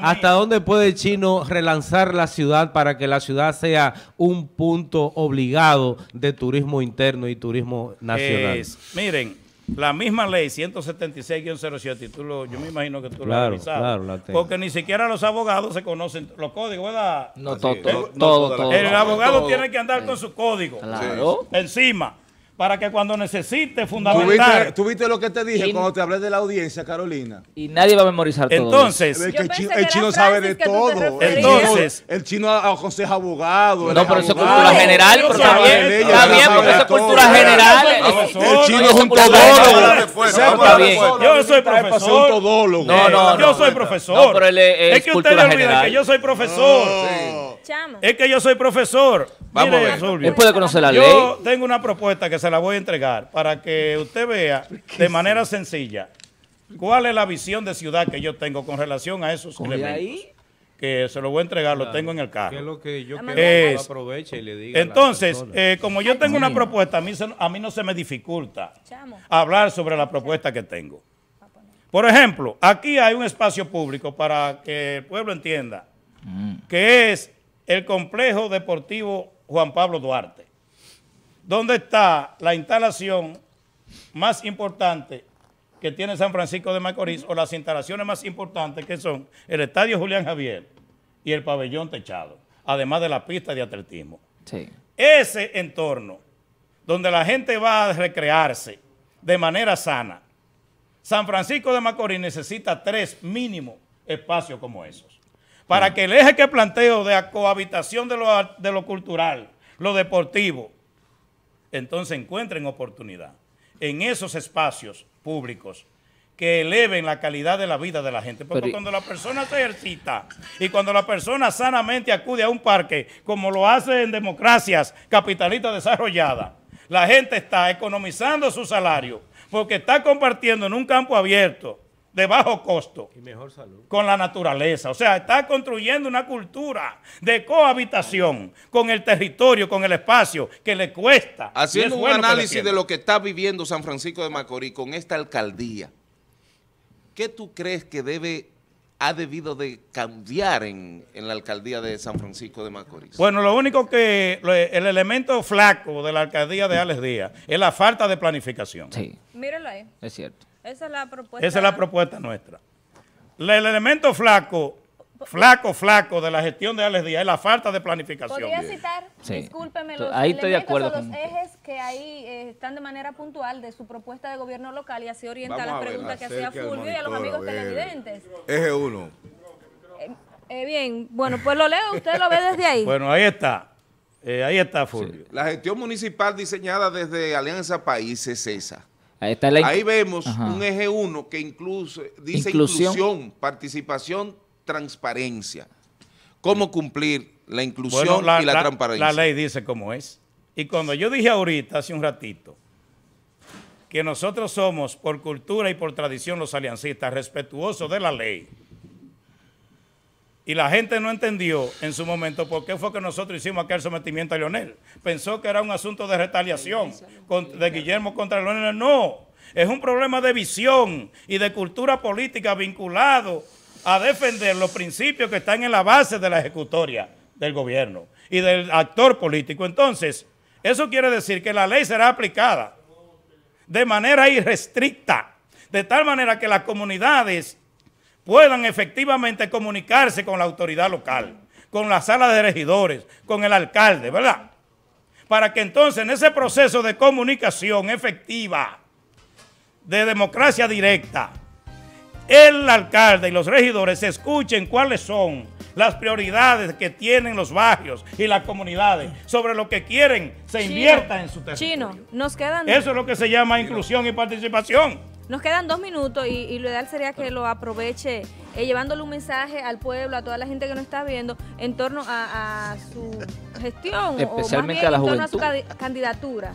¿Por qué votar recuerda- por el chino? ¿Por qué votar No, por los Alianza jóvenes País a la son míos. alcaldía? Sí, pero recuerde, Chino, que la mayoría de jóvenes que te están viendo ahí, la mayoría de, o sea, los son jóvenes- la mayoría de los electores. jóvenes son míos. Que son jóvenes. ¿Qué mensaje a esa gente que nos está viendo? A los jóvenes. Tú ganaste porque este es un país de jóvenes. Bueno, Sí, no, jóvenes. los por jóvenes eso le son digo míos. del discurso. Los jóvenes son míos. ¿Tú Míralo sabes ahí. por qué? Eso es parte de la jerga, son no, míos. los jóvenes son míos. Porque este sujeto que ustedes ven aquí, que se ha movido socialmente en base al esfuerzo, a la organización y a la disciplina, se pasó una vida completa. Pregúntele a Carolina, que fue alumna mía, y pregúntele a un 15%, un 20% de los, joven- de los jóvenes de este pueblo, todavía con 35 años y 32. ¿Quién fue el profesor Juan Tavares? ¿Qué opinión le merece el profesor Juan Tavares como maestro, como interventor de procesos áuricos? Tiene que tener Y cuidado. los Chino. jóvenes son míos. Chino. Porque me vieron jugar softball en. San Francisco de Macorís. Tienes que tener cuidado Y con vieron- tu discurso porque está pareciendo altanero. No, Es que no. lo que parece El- el es que no hay manera. Tiene que tener cuidado, Y no, y eso- no, y no admite la contradicción y solamente es verdad lo que él dice. un Y yo y yo soy el que digo. No, no, y yo pero- soy el que pero- pero todo, y que no pide igual No, que no, yo. no, pero ese eres tú. Bueno, Pero ese- fenómeno. Sócrates. Fenómeno. Esa es una. Ese es es está definiendo es él. Es una, opinión sesgada la de, un la de mensaje al nuestro pueblo. amigo de, de No se Sócrates. deje llevar de Sócrates. El mensaje es, al pueblo.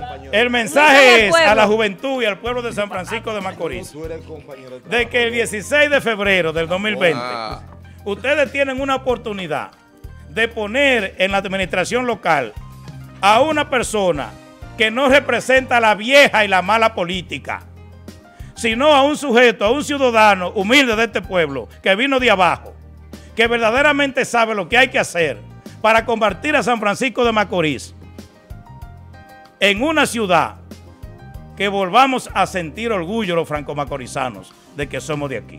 Bueno, Muy bien. gracias. Francisco. Tavares. Lástima que Juan Francisco. Tavares el chino. Eh, Por muy esa- buena entrevista, esa entrevista, eh. Claro, Chino, siempre chino son buenas con el chino. Sí. Señores, vámonos a una Dinámica. pausa comercial. Regresamos en breve, no se vayan. Hay la- más la contenido de mañana. No, yo la pámpara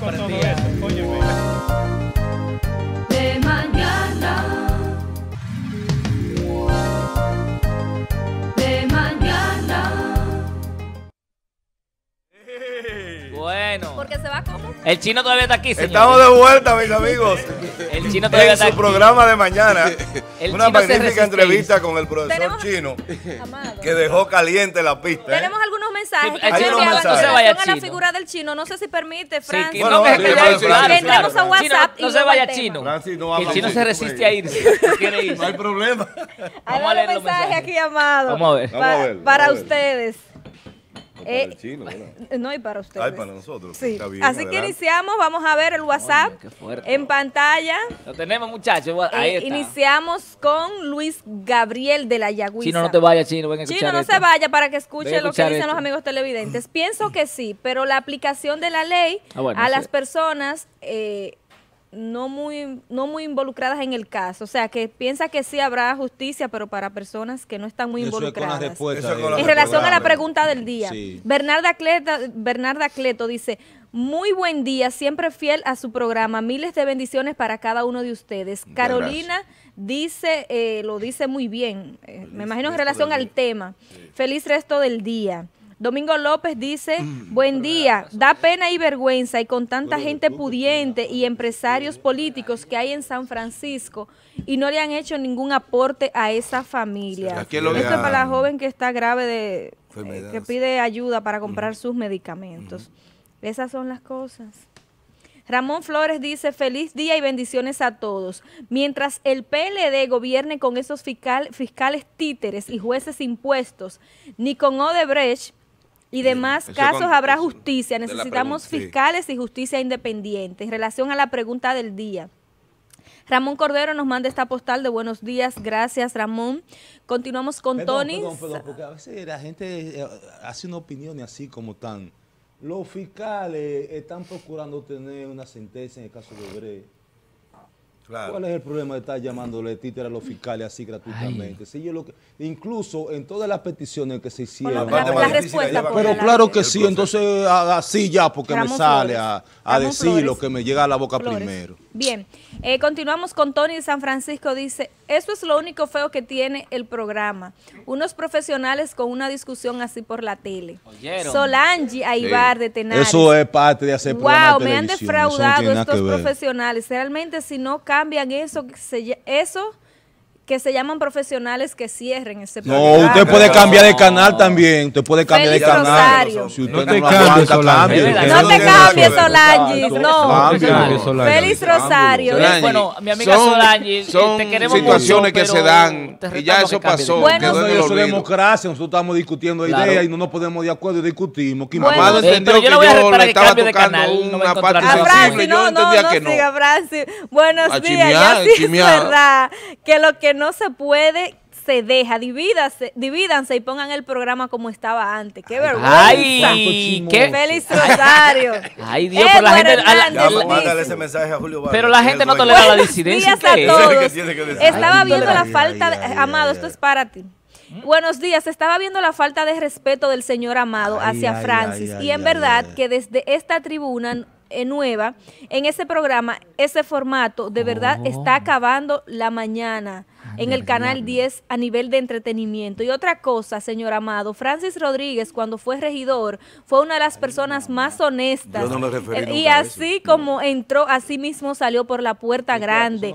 Y nadie todavía ha visto que ha podido señalarla, señalarlo. Y otra cosa, es una persona que ha ayudado mucho a los pobres cuando fue regidor y nadie puede hablar nada en contra seguro, Francis. de eso. Dios mediante, Es que-. Escucha lo último, Amado. Es decir, que usted habló pluma de burro, le dije. Ay, oye, eh, es que ese es de los únicos de la fuerza. Tiene que ser de la fuerza del pueblo. No, no, no, de la fuerza No, nacional no. progresista. Doctora Berlina Regalado. Ah, Pero yo voy a votar por, pero yo voy a votar por Francia. Buenos días Yo. a todos. El escenario Dígalo, que acá- repítalo. Claro, repítalo. yo voy a votar por Francia. Bien. Ese es Buenos días a todos. El escenario que acabo de ver es el mismo que me describen, que somos como franco, franco-macorizanos cuando voy a la capital. Debemos de- aprender a responder pacíficamente, con Ay. altura. Ey, yo no estaba aquí. Rigo. García dice, desde New Jersey, ¿cuál justicia? Esta pregunta está hecha a destiempo. Espero que después del 16 de agosto del año entrante. Sí mismo. Antonio Reyes dice, vamos a ver.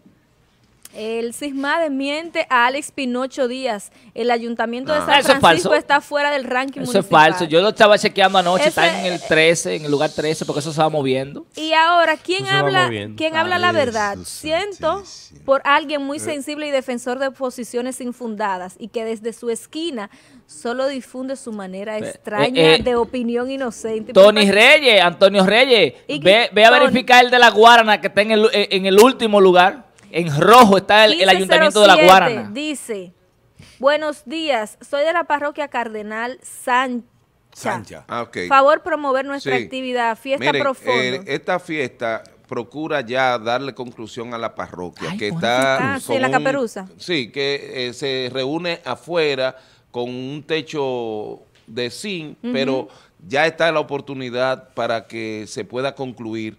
eh, y creo que debemos apoyar todos esta Rafi actividad y Cruz. participar. Ay, y ahí 20 sí se baila. Y o sea, se baila. con Rafi Cruz es prácticamente lo mismo que Anthony Santos. Ve acá, Vamos, O sea, que, que no pueda ir a la una fiesta de las fiestas de. Telenor. Sí. Sí, una Tony dice- La gente que no pueda ir a ver la fiesta de Anthony Santos, que vaya a esta, porque es Porque prácticamente lo- lo es mismo. verdad. Es lo mismo. Ese tipo canta tal cual Anthony Tony Santos. Gráfico. San Francisco dice. ¿qué consejo más bueno da Sócrates? Que cambien de canal. No, no cambien, no se lleven de Sócrates. Ah, ok. Marisol de Castillo dice, ay, Sócrates, eh, yo tengo una gran admiración por el chino y pienso que sería un excelente alcalde. Sócrates, no sea tan prepotente con los televidentes. No tienes buen manejo con nosotros. Julio Ay. Muñoz dice, dejen a Sócrates aquí. Entonces ese programa ya. debemos enterrarlo, ya murió. ¿Eh? Gracias por estar con nosotros. Gracias, Julio. que usted está ahí, después. todavía estamos en vivos. Usted está con nosotros. Quiere enterrarlo, pero no se atreve. Te retamos a que cambie Va a de tener canal. que, va a tener que chuparse el cadáver.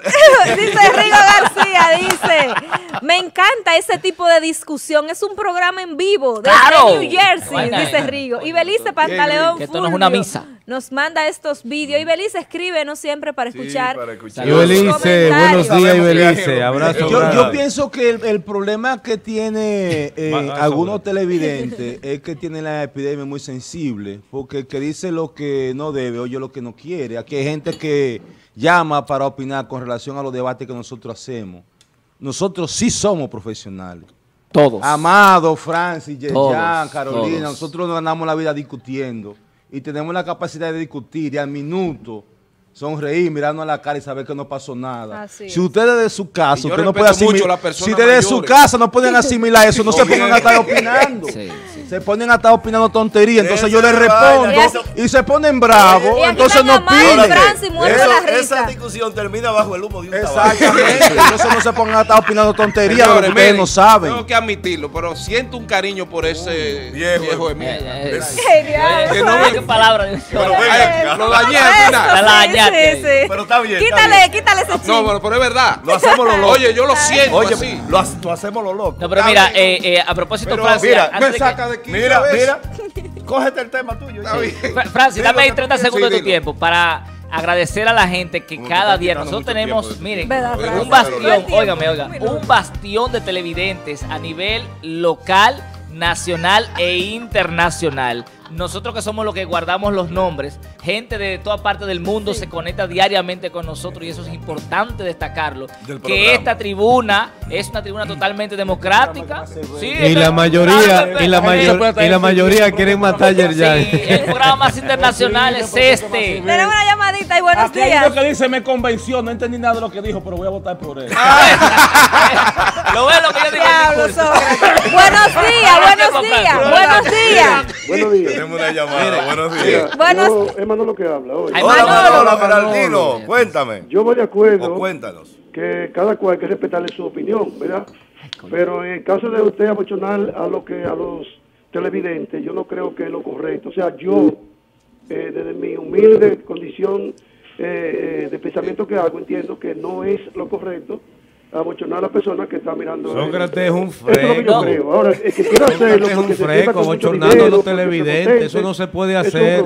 Pero déjalo ir, deja ver qué es lo que va a decir. No, pero Ya no, dijo. no. ¿Qué fue lo que dijo? No, no, Sócrates lo que está, Manolo, y es, Es importante que- destacar eso, es aclarando que las discusiones que se dan aquí son de ideas. Pero de que eso no que, pase que de pongan aquí. otro de que no es. Eso no, de- no, no, no, no. que Oye, porque con reto. otro. si te están diciendo, Oye. ese programa murió ya, sé yo qué, No. ¿qué es lo que tienen que hacer? No, Sí. esos televidentes Porque se son vayan de a ver a. Uchi ya, que vayan a ver un programa más Bueno, aburrido. rompe la discusión. Sí, comunidad Sin hablar de plan social. de Cardenal Sancha, que, que está precisamente en la Caperuza 2, Él no escuchó. está promoviendo su fiesta y en estos momentos de Navidad, con el propósito de recabar fondos para la conclusión de su parroquia o de nuestra parroquia, porque vivo en esa zona. Y soy parte de ella y sobre todo tengo un sacerdote muy querido, Aridio Vicioso, que está ahí. Y el obispado nos da unos chelitos. Bueno, tú sabes que el abispado ya hizo sus aportes. Lo que pasa es que la comunidad que construye su propia grande iglesia. La, comu- la comunidad y los feligreses construimos nuestra propia iglesia. Miren, en el día de ayer, y le voy a pedir que me, si es posible, que hay fotografías y creo que hay, fue recogida por Telenor, la rueda de prensa que convocara ayer en Manuel Trinidad, junto a él, anunciando su, vice, su vicealcaldesa. Di- discúlpame, eh, Sí. eh, eh, déjame decirle al máster en el, Sí. en, el, en el disco que se llama eh, Finales 10, están los videos de esa actividad. Finales 10. Exacto. por favor, para que me acompañe en este breve recuento que pienso hacer en mi turno respecto a la actividad en que ayer la, la coalición Juntos Podemos, Somos, Partido Reformista y Fuerza del Pueblo, que finalmente ayer, en el día de ayer, la Junta conoció y admitió el cambio de nombre del PTD por Fuerza del Pueblo encabezado por Leonel Fernández. esto, esta actividad se realizó aquí en El Dorado, Restaurante El Dorado, en su salón de actividades y contó con una masiva eh, presencia de militantes y dirigentes importantes encabezado por Andrés eh, Acosta, eh, Juan José Rosario y con ellos el alcalde, el próximo alcalde de este municipio, no, Emmanuel. Plata. No, espérese, que voy a dar. Ah, y bajo la conducción, permítame decirle de, de Emmanuel Trinidad, Angie Paulino, la vicealcaldesa, y el resto de los regidores, entre los que me encontraba yo, o me encuentro yo como parte del equipo que acompañará a Emmanuel Trinidad en su gestión. Nuestra experiencia, llevarla y acompañar a nuestro alcalde Emmanuel Trinidad. La conducción a cargo de la profesora, ilustre profesora Luz Plata. Brillante, como siempre, motivadora, pero sobre todo que en ella, en sus palabras, refleja la historia y la esencia de los orígenes y permanencia en su pensamiento del partido que fundara Juan Bosch. Es una mujer bochista, una mujer de tradición, ella y su familia, su esposo, y su difunto esposo. Su difunto esposo, perdón, y su familia. Lucelene Plata, brillante comunicación, brillante conducción y así saludar al resto de los candidatos, entre ellos Tito Marte eh, y demás. Eh, bueno, Joselito Tavares que me dijo, mira, tú no me mencionaste. De todas maneras, a todos, creo que es una propuesta que San Francisco de Macorís tendrá que ponderar por la experiencia de Emmanuel, por la experiencia nuestra, mía eh, como regidor, y esperamos que el favor del pueblo para llevar una... Y gracias a la producción que no me entregaron el... El vídeo. El vídeo. El, ¿Cómo es que se llama? ¿El qué? El crudo. Ajá. Sí, sí, no, nosotros lo tenemos. Si lo Entonces, ¿por qué no me lo? Le pedí que, por favor. Ahora. Claro, ah, que, ah, que lo había... ¿Tú lo pediste cuándo? Sí, sí. al principio. Ah, y yo, yo seguí hablando y no lo hicieron. En finales 10 está el video finales que se 10 dice, para el noticiero. Ah, bueno. a ver si es para posible. el noticiero. ¿No está allá? Ah, bueno. Ah, bueno. Debe, debe, haber una, un error ahí. Pues entonces, no, hay, no hay mala intención. Ante todo esto y el planteamiento que haces y la proclamación que se hizo ayer, ¿cuál es tu visión, o sea, real, ¿no? Porque siempre el, el, los candidatos dicen que van a ganar, pero la situación de la fuerza del pueblo en estos momentos. Hasta el chino lo dijo. Partiendo, partiendo de lo que se ha dado, eh, ya que no vamos a entrar en esos detalles. La fuerza del pueblo, mira, Miledis, no, Siquio. la fuerza del pueblo, eh, no tengo datos de, de, la situación de Miledis ni de Siquio. Ahora, la fuerza del pueblo se está reuniendo, es una coalición de partidos. Está listo, por favor. vamos a ver. Entonces, mientras tanto, yo voy a, a, decirle, la fuerza del pueblo es la... Vamos a escuchar un chico. Vamos a escuchar un poquito a Lucelene Plata es para la República Dominicana, para la región, para esta provincia Duarte y para este municipio un momento histórico.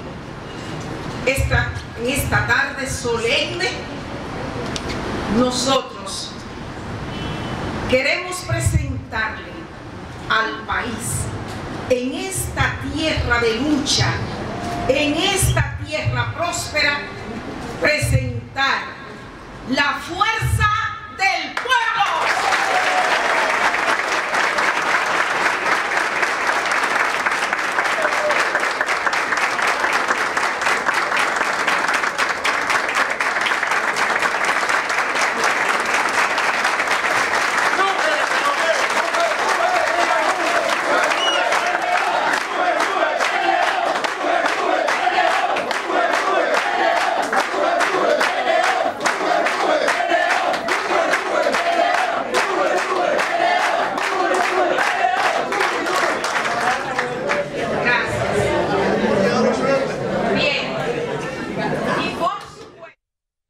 Gracias eh, finalmente al, al máster. Y hay que felicitar a la Fuerza del Pueblo aquí en San Francisco. Realmente eh, en este municipio han iniciado con una gran fuerza, se ve ahí una gran representación y felicitar al partido. Eso es, importante porque eso promueve la democracia. Está, Gracia Rosa, que usted sabe que es parte eh. de... Y, es como candidata. Sí, también.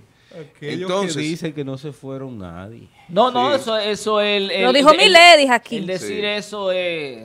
No, ya hablo de un 7% más o menos. Eh, pero ahí hay una ahí hay una gran fuerza y eso es importante. No, es que los que están ahí son los dirigentes históricos del PLD aquí. Porque eso promueve. Ella los minimizó. Los minimizó. Eso los minimizó.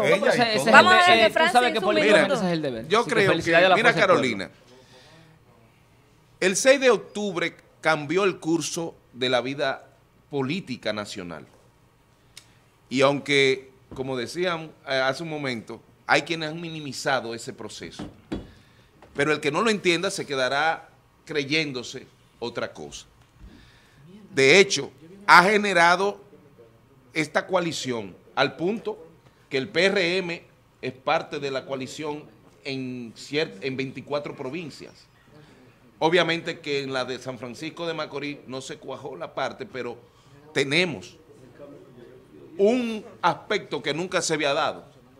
Tantos partidos juntos con proyectos de, alcanzar la administración y el poder, que ya en esta primera etapa se está formando, se está formando para el próximo febrero.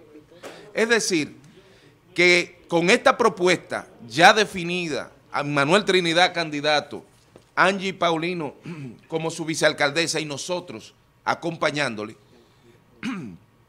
ahí están representados los 11 partidos de 13. Ok. Entonces, cuando eso se da en un país como el nuestro, tan politizado, ciertamente que debe llamar la atención frente a los que gobiernan y siguen haciendo desaciertos a esta sociedad que ha aspirado siempre a tener bienes públicos tangibles, no de proyectos de publicidad, de comunicación, donde se le haga creer al propio que está escuchando que está viviendo esa circunstancia cuando en su realidad no lo es. Esos media, esos media marketing o media tours generan, en fin, realidades inexistentes. Pues de hecho la fuerza del pueblo, la coalición de Juntos Podemos, Partidos Reformistas, estamos haciendo ya la propuesta. Próximamente estaremos en una especie de taller o seminario donde se va a producir con la presencia nuestra, los regidores que acompañaremos a Emmanuel y a Angie, lo que será nuestro plan de gobierno municipal y tengan la seguridad que estaremos empleando todo nuestro conocimiento y nuestra voluntad para que resulte un verdadero proyecto municipal de cara al futuro, con todas las los retos que tenemos. Pues ahí está. La suerte está echada.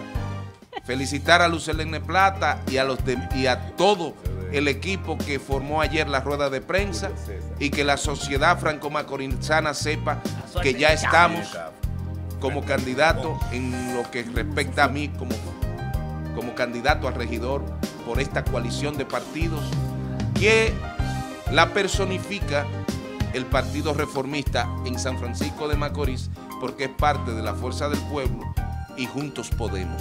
No, te sientes como, como eh, Julio César frente al Rubicón. Alea, Alea, ya está César. la suerte ha sido echada. Eh, Francis, ¿qué tú vas a hacer para conseguir el voto de los guaguaguá y de los muchachos que tienen la para prendida? Bueno, definitivamente nosotros tenemos que ser orientadores a la juventud y propiciar. Y no, porque los popis él ya lo tiene. los popis que sabe todo el mundo que son. No, pues, no. Clase media alta. Mira. Pero los de guaguaguá de abajo. Mira, desde la sala capitular todo lo que tienda a producir bienes colectivos para todos y la juventud estará integrada en mis proyectos, olvídese, incluyendo aquellos, los impedidos que a mí siempre lo hemos de, lo hemos defendido. Los políticos son expertos en responder todo y no decir nada. Tú ibas a decir Vamos, fútbol, muchas gracias, hermano. Tú vas a votar por mí. Vamos. Eh, iniciamos con Adalgisa Reynoso, dice, y envía el mensaje a la Junta de Vecinos del Ensanche Duarte, que les informa a todos los moradores, les recuerda que mañana a las 9 de la mañana será inaugurado el centro comunal. Gracias Adalgisa y ya ahí está la información para todos. Delio Mercedes nos dice, Delio Mercedes dice, Buenos días a ese equipo de profesionales de la comunicación de mañana. ¿Y, ¿Y cómo, cómo? podemos tener un alcalde tan violento? Tendrá bates en su despacho para Es cuando, a chino, es a chino.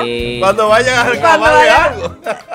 Bueno, y Belice Pantaleón No, el chino dice, es un profesor. hola, los quiero. Cogerá su pique, pero no llega a eso. Eduard Durán dice. Eduard Durán dice, eso nunca se verá, son unos 20 patrios. Ay, Era lo de la pregunta. Antonio, a la pregunta del La día. pregunta del día. Eh, Antonio Reyes nos manda esta foto, sobornos, palabra que se define, leyéndola al revés, nos roban. El licenciado Alberto Los Maestros dice, no, no cree que habrá justicia. Máximo Durán dice, eh, en el campo, muy buenos días, no se preocupen por lo que algunos puedan decir de su formato. Soy de los que creo que sus discusiones son propuestas con el objetivo de hacer crecer a sus televidentes, ya que la variedad de opiniones expuesta permiten tomar decisiones más cercanas a la verdad de los temas que ustedes día a día tratan. Eso Felicidades y continúen siendo tal cual son. Es En el campo Durán. político, eh, nuestro país se encamina por primera vez a tener un poder legislativo y en el municipal diverso, que podrá dismi- dirimir bien antes dirimir bien antes de aprobar una ley, ya que no será el partido el que gane las próximas elecciones presidenciales. Contrario a la posición de Yerjan que dice que debe de ser Ustedes tienen el. Congreso es debe de ser del gobierno. Tenemos otra se- llamada, a lo Se asignó buenas. 750 mil pesos como A lo salario. buenas. Buenos días. Y viático. Adelante. Y dice que lo de los en la calle. Adelante. Ese mismo día, lo- Adelante. Buenos días, adelante. ¿Cómo están ustedes? Muy Muy bien. bien. Muy bien. Animados. Felicidades, Navidad. Que la pasen bien. ¿Qué y que sigan debatiendo, pero que Gracias. eh, con buena fuerza para la gente, no para un grupito, porque así no da. Así es. Muchas, Muchas gracias. gracias, Muchas muchas gracias. gracias. También feliz Navidad para usted también. Muchas para gracias toda por su sintonizar. Sí, señores, vamos a una pausa. Cuando regresemos. ¿Otra pausa? Sí, sí. Ajá. Hay más contenido cuando Estamos regresemos. como a 18 hoy ya, ¿verdad que sí? Sí, a 18 estamos. Ya pagaron el doble sueldo.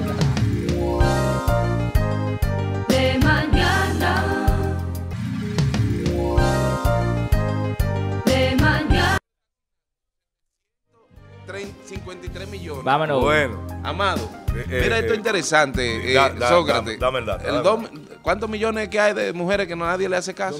No, no diga No, no lo diga en forma. No, eh, eh, Que eh, nadie le hace caso, no. Mira, O que no quieren estar. pero el gobierno está haciendo algo brillante. ¿Qué está haciendo? Vamos a ver. Porque ahí tengo que reconocerlo y los que quieran reconocerlo que lo hagan. Pero le voy a poner simplemente este dato. En el presupuesto que se, eh, que se aprobó ayer, se le está asignando al Ministerio de la Mujer 753 millones. 35. 735 realmente. Sí, bueno, 35. Y para publicidad, como la han utilizado, 13 mil millones. 13 mil millones de pesos. 13 mil. 13 mil millones de pesos. Es una burla. Vámonos, Una- vámonos una- A, a- a donde Arismendi, a donde está Arismendi ¿Se en está este oyendo, momento en vivo. Vamos a ver Arismendi, buenos días.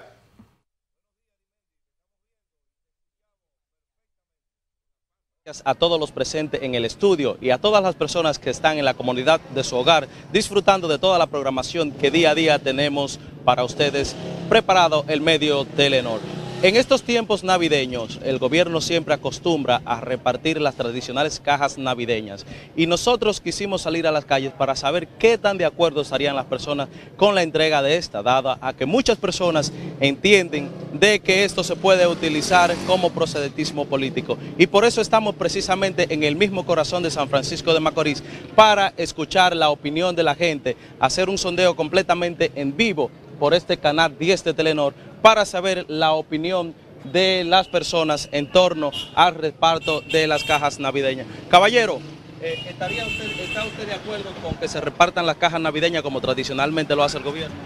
Sí, sí, claro. Eh, eso es un- una ayuda para la persona de bajos recursos. Eso es muy importante. Denla. Bien, repetimos, estamos completamente en vivo en la parte céntrica de San Francisco de Macorís para preguntarle a la gente, caballero, ¿estaría usted de acuerdo con el reparto de la caja navideña por parte del gobierno? Claro, hay mucha necesidad, hay personas que no pueden comprarla y el gobierno puede, puede hacer esa obra, ¿tú me entiendes? Eh, ya que la situación económica no está muy buena. Hay muchas necesidades, el gobierno tiene que hacer algo con la, con la clase bajas. Gracias. Ok, repetimos, cada año el gobierno dominicano invierte millones de pesos en la entrega de la canasta navideña. Caballero, ¿estás de acuerdo con que se entregue la canasta navideña como tradicionalmente lo hace el gobierno? Pues claro que sí. Claro. No, porque es como una tradición, las tradiciones tienen que por lo menos seguirse hacia adelante siempre. Bien, ahí escucharon ya, eh, podríamos decir que muchas personas a favor de que se haga esta entrega de las, las cajas navideñas que cada año, aunque otro sector está en contra de este y dice que eh, el gobierno gasta mucho dinero de manera innecesaria en estas cajas navideñas. Caballero, ¿está de acuerdo con que el gobierno entregue tradicionalmente las cajas navideñas que en este tiempo se entregan? Totalmente de acuerdo, porque siempre nosotros los pobres, con la caja navideña que nos entusiasmamos, eh, entonces vemos por lo menos la cena navideña, aunque, aunque no dan para todo, claro está, pero los más necesitados se benefician de ella. Bien, ahí escucharon y seguimos eh, preguntándole a la gente. eh, caballero, estamos completamente en vivo por el canal 10 de Telenor y la pregunta es, ¿está usted de acuerdo con que el gobierno reparta las cajas navideñas? Bueno, yo, si la reparten como deben repartirla, que le llegue al que realmente lo necesite, creo que sí, que es prudente. Si la reparten como debe de ser. No, porque a veces eh, se quedan con ella algunos, llegan la caja, pero no le llega al necesitado. Entonces en ese caso no, pero si le llega a los que realmente lo necesitan, está bien. Bien, ahí escucharon las declaraciones de los ciudadanos de acá de San Francisco de Macorís. Vale destacar que hace ya unos días en las redes sociales se hizo viral un video donde se veía a unas personas que intercambiaban las cajas del plan social y le ponían eh, una caja con la figura de un candidato presidencial, situación que ha generado un gran malestar en todos los cibernautas. De mi parte, es todo lo que tengo por el momento. Retorno con ustedes al estudio. Estamos de vuelta con ustedes gracias a Arismendi la Antigua por las informaciones desde la calle, este sondeo. Tú sabes que comentaba yo con Carolina, yo tengo, yo tengo muchísimos años de vida y he escuchado todo el tiempo, desde que tengo uso de razón, que la gente para esta fecha dice, no, la cosa está muy mala, sobre todo los comerciantes. Sí, sí, es una, la es vida. una- Como es una- parte de una, un de una cultura incluso. Exacto, es como una cultura. Desde que tengo uso de razón escucho eso, pero vemos lo- lo- los restaurantes llenos, la discoteca llena, la gente comprando ropa, el mercado lleno, le los invito a la gente a que pase- la movilidad, sí, entonces... A, a que pase por los comercios, eh, eh, básicamente los restaurantes y, las- y los colmadones y los bares. Que hay dos El mundos, próximo 24 de la noche, el 25, Hay dos en la fiesta de Antonio ¿Cuáles Santo, vayan a la fiesta de Antonio Santo que, Hay que dos no Hay cabe dos la gente. mundos, dice él. ¿Cuáles son esos dos dos mundos paralelos. ¿Cuáles? Aquellos que se benefician, más de 700 mil personas que están en el Estado y se benefician de todas esas burrundangas que hay ahí. Yo te voy a hacer un reto y a ti. aquellos que están fuera. Yo te voy a hacer un reto. Vamos a la fiesta de Antonio mundos. Santo el próximo Hay dos 25. mundos A que tú no vas a encontrar ahí no solamente funcionarios. A que no cabe la gente ahí. Pero y esa es los una fiesta bastante cara. los dos es una fiesta muy, pero muy los cara. dos mundos paralelos ¿eh? están No, no, no, yo nunca he ido Óyeme, realmente. Los no- dos mundos paralelos están incluidos en el libro de Manolo. Los dos mundos paralelos están incluidos en el mundo en el libro de Manolo. El del narcotráfico. El narcotráfico, la nueva clase social. No, no, Ah, tampoco. Y el comunismo, mientras Vamos a decir entonces la que solamente los buenos vinos salen a la calle a disfrutar los vida. narcotraficantes y la gente que, que están en el gobierno. los No. que tienen dinero. Pa- pasa por la libertad. En San Francisco. Macorís, para Bueno, vamos Pero al tema espérate, cen- espérate, Dame un minuto, dame Ajá. un minuto. Vamos ¿Cuál es tu punto? Que la gente sale a. Pero si no tienen dinero van a salir. Claro que sí. Sin dinero van la, a salir. La gente lo busca de donde sea. La No, gente pero- lo busca de donde pero, sea. ¿cómo? Es que eso no existe, eso es un concepto abstracto de donde sea, pero no de donde sea. Si no lo busca. Entonces Claro se lo que tiene lo que prestar un banco. O se lo, Lo tiene que prestar un prestamista. o un usurero. lo. Pero no me diga a mí que, que si son pobres, un usurero no le va a prestar. No le va a prestar un banco, ni le va a prestar un prestamista. Yo eso te no es verdad que a va todo el mundo. Ojalá que pudiéramos Hay hacer ese ejercicio. en eso. Hay la gente que estuvo en la fiesta de Anthony Santos. Son los mismos que van todos los años.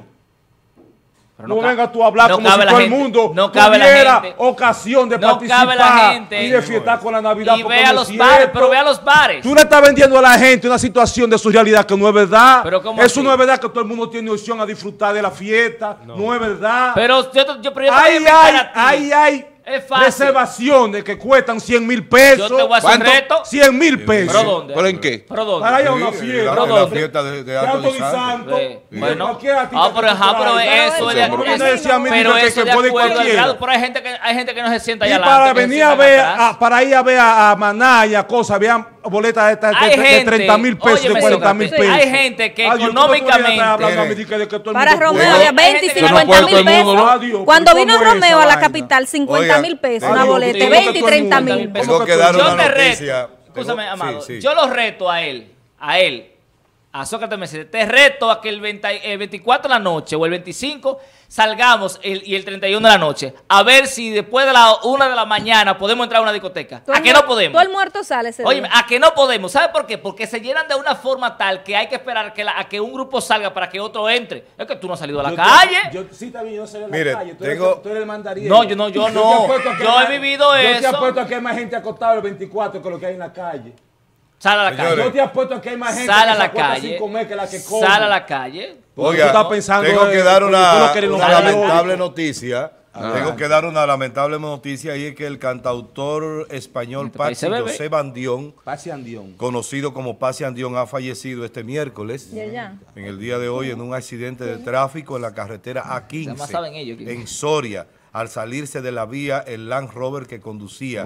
Andión, Oye, también Rover. sociólogo, actor y escritor, tenía a la hora de su muerte 72 años. Bueno, Lamentamos pena, muchísimo pena, qué pena, qué la- pena. el fallecimiento de Paz Andión, que fue un cantante, compositor, un cantautor español eh, vasco, la voz áspera y cansada del pueblo vasco, que ¿Tú nunca hizo historia, No. Que ¿Eh? hizo No, no. historia Ya. ¿Tú en la, en la época. Yo no paso de, de- yo. yo no paso de Fran Reyes y de Romeo Ya, ya, y ya. ese grupo. Ya yo te Lo más que yo he escuchado es Pablo Milanés, ya, ya, eso es un extremo para mí. Vamos al tema central.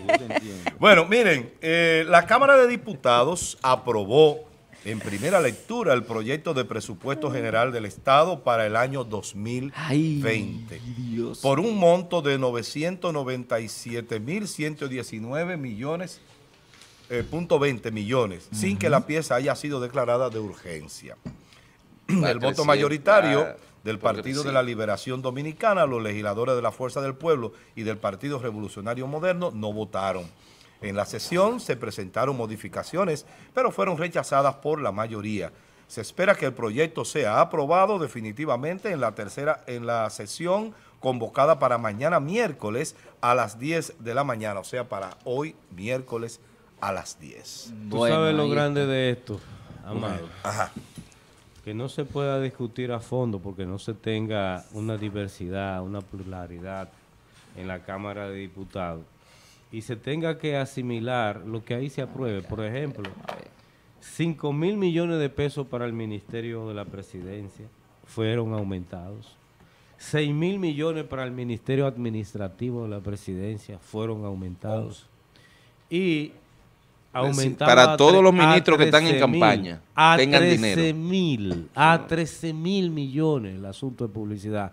Dos veces y media lo que aquí se usa para viviendas sociales. Eso simplemente me habla de un estado económico eh, putrefacto y podrido y alocado. ¿Cómo darle tanta importancia al margen de la publicidad y no a la vivienda social?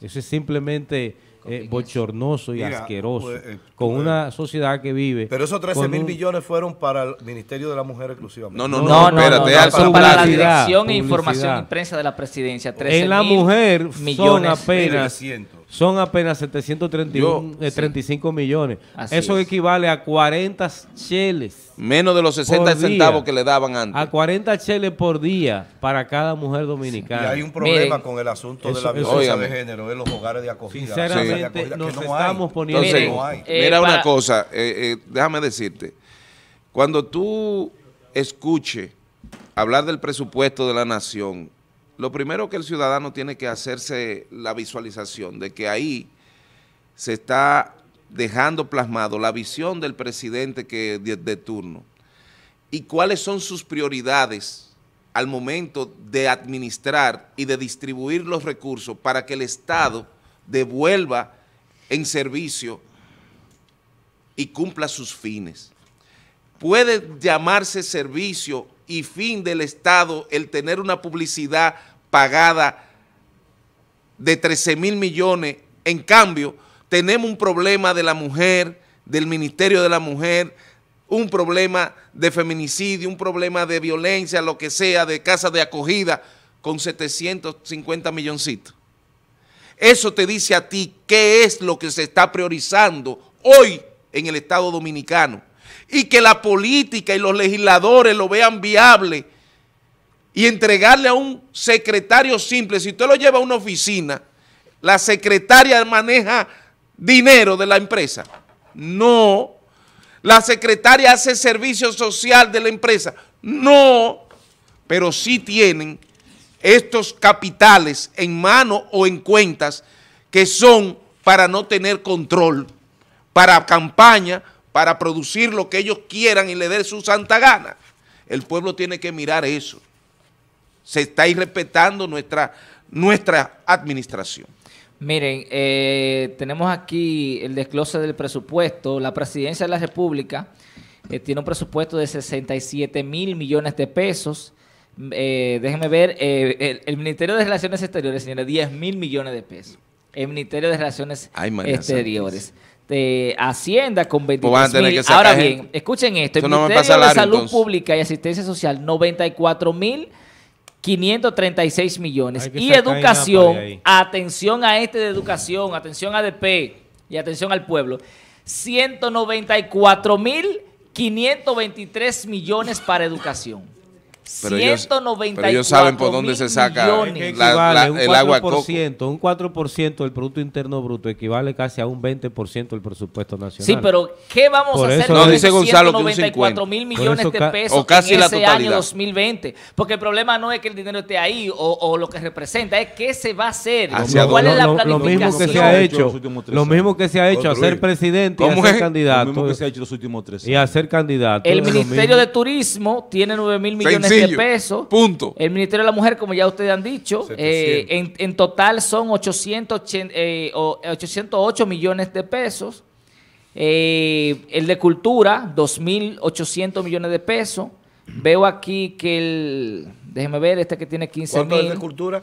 El de Cultura tiene... Y el ministro de la presidencia que no hace cultura, que no hace gobierno, que no hace nada. 718. ¿Cuánto? 718 No, no, no. El de cultura. Tiene 2.800. ¿Y el de de ministro de la presidencia?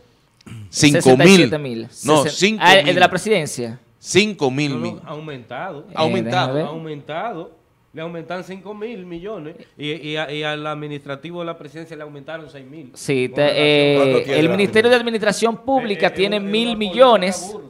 Eh, eh, Energía y Minas tiene mil millones, mil cuatrocientos Lo que le millones. espera al pueblo dominicano. Y para, este para la deuda económico. pública, 167 mil millones de pesos. Mira, 167 mira lo que hay en resumen. En resumen, hay un déficit que hay que buscar dinero prestado, más de 4 mil millones de dólares, 246 mil millones de pesos se van a necesitar buscarlo prestado para poder equiparar el presupuesto nacional. 246 mil millones. Y de todo ese presupuesto que llega casi a un billón, apenas se va a usar el 15% para gasto corriente. Casi equivalente a unos 150 mil millones de pesos.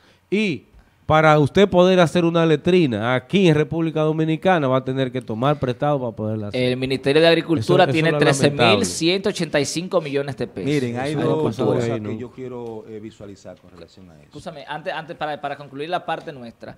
Ayer vimos la participación de algunos partidos.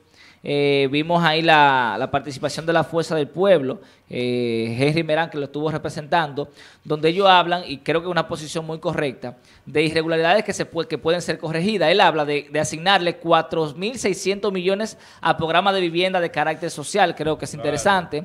1.062 millones a combate y persecución de la violencia de género, o sea, aumentarle. Eh, habla de una partida a salud pública, no especifican ahí porque en ese momento se cortó la transmisión. Nosotros- y habla, y muy interesante esta parte, de quitarle 1.400 millones al Ministerio Administrativo de la Presidencia, Para- eh, se- se- para salud 647 primaria. millones quitárselo a OISOE. Para salud primaria. 623 millones al Ministerio de Defensa, 551 millones al Ministerio de Relaciones Exteriores y 413 Esa fue la millones al. Ministerio de Deportes. Creo que ahí no estoy de acuerdo con el Ministerio El de Deportes de, quitarle, no pero con lo otro sí creo que es una posición muy, muy bien eh, establecida la de la Fuerza del Pueblo, porque lo que está haciendo es del mismo presupuesto, quitándole a algunos ministerios que ellos entienden que pueden manejarse con, del con- PRM. con el restante. Déjeme, déjeme plantearle esto. Vamos a ver si, si, si, si logramos meterle la cuchara a esto y ver cómo nos sacamos esto. Si, por ejemplo, son 120 los diputados que hay en el Congreso y el PLD tiene 40. Los diputados del PRM, los diputados reformistas y los diputados del PLD, en la medida en que ellos asistan y voten, dificultan la aprobación de una, pro- de una ley o de un proyecto de ley. ¿Por qué? Primero, para que haya quórum para la aprobación de una ley se requiere la asistencia de la mayoría absoluta, o sea, la mitad más uno. Y para aprobar la ley se requiere el voto mayoritario, la mayoría más uno de los presentes, de los votos. Cuando el PLD, cuando el, P- la, el PRM y la Fuerza del Pueblo van y se atienden de votar, están contribuyendo con que se apruebe el presupuesto. Aunque se salieran, mantenían Están mayoría. contribuyendo con que se apruebe el presupuesto. ¿Qué hay en eso? Pero- ¿A qué es que están jugando con eso? Porque Pero- se supone que de lo que se trata es que si ellos no están de acuerdo con que se apruebe el presupuesto, ellos debieran emitir ¿Tú sabes su voto cuántos son los para que no se pueda diputados? aprobar. Pero oye, ¿tú sabes cuántos son los diputados? Son 58 diputados. ¿Tú sabes es lo que PRM y? Fuerza del Pueblo. Ajá. Se pueden ir Sí. todos y sigue y Claro, sigue la pero mayoría. sabes Sí, qué es pero que pasa tienen que votar. Porque cuando votan, tiene que ser la mayoría, la mayoría de los votos, el que determina si se va a aprobar un proyecto de ley. Si tú no votas con 30 de ellos que voten ya, Sí, pero mira qué es lo que pasa. Si Pero ellos aún no estando, ahí, aún pero estando mira, ahí votando. Ahí yo creo. Como Ah, ellos pero- votaron pero eso que poniendo no. lo que Mira, vayan todos. No, no, mira. ellos mira que- votaron que no. Y que, no, no, no, se atuvieron de votar. Pero to- Eh, te estoy Ya tuvieron el de votar. Mira, eso mira. no sirve el para nada que hagan Mira, eso. Lo que yo creo Eh, que la para eso- posición. Para eso es mejor rompo de tiene- Sí, pero óyeme, óyeme. La posición de los partidos, por ejemplo, y de los diputados, desde mi punto de vista fue la correcta. Ellos fueron e hicieron sugerencias. Dijeron, mira, nosotros lo podemos aprobar, pero arregla esto que está mal. Ahora bien, No si no hablar. se aprobaba entonces, o si no se aprueba entonces, la ley establece que el gobierno debe trabajar con el presupuesto anterior. Entonces mejor tú tratas de, de entrar en la discusión para la aprobación del nuevo, porque entonces igualito, si, si no se puede aprobar, se va a trabajar con el presupuesto del año anterior. Y es prácticamente lo mismo. No, no es lo mismo. Porque Claro que sí, como no- quieras- como quieras los niveles de endeudamiento, las asignaciones que se hacen y todo es diferente. Por ejemplo, los ayuntamientos van a recibir menos dinero ¿Y el que lo que desarrollo está del recibiendo el otro. Es que no se te va a parar ningún desarrollo del Claro país que sí, eso. porque los presupuestos son precisamente Anda, eso. diablo. Pero si tú estás trabajando pro- con un presupuesto anterior, desarrollo. si tú estás trabajando con un presupuesto anterior, se va a detener el desarrollo del No, país. no. No, no, además, pero además. La misma ley lo planifica. La que labor- se- la labor que del regidor. asume el, el que está o el anterior. además Claro, déjeme decir otra cosa con relación a eso. En conclusión, es un presupuesto deficitario La, y motiva a más deudas. de lo que se trata es esto. Cual que sea el candidato que gane, en el caso de que se produzca la eventualidad de que. Luis Abinader gane o de que Leonel gane, que son las, las otras dos opciones que hay con mayores posibilidades, va a tener un año difícil. Bien difícil. Porque, que, o sea, cada año más deuda, más compromiso, más gasto superfluo, más nómina inflada. Entonces, no veo, o sea, así no hay salida. Los, los diputados van y pelean y que, que discuten. Para mí no pasa de ser un puro allante, pero al fin y al cabo terminan aprobándolo. Y el presidente que viene sabe en el lío que se va a meter, pero como quiera coge para allá. Y cuando coja para allá, tiene que salir de eso y va a tener que coger prestado, tanto como está presupuestado como lo que no hay.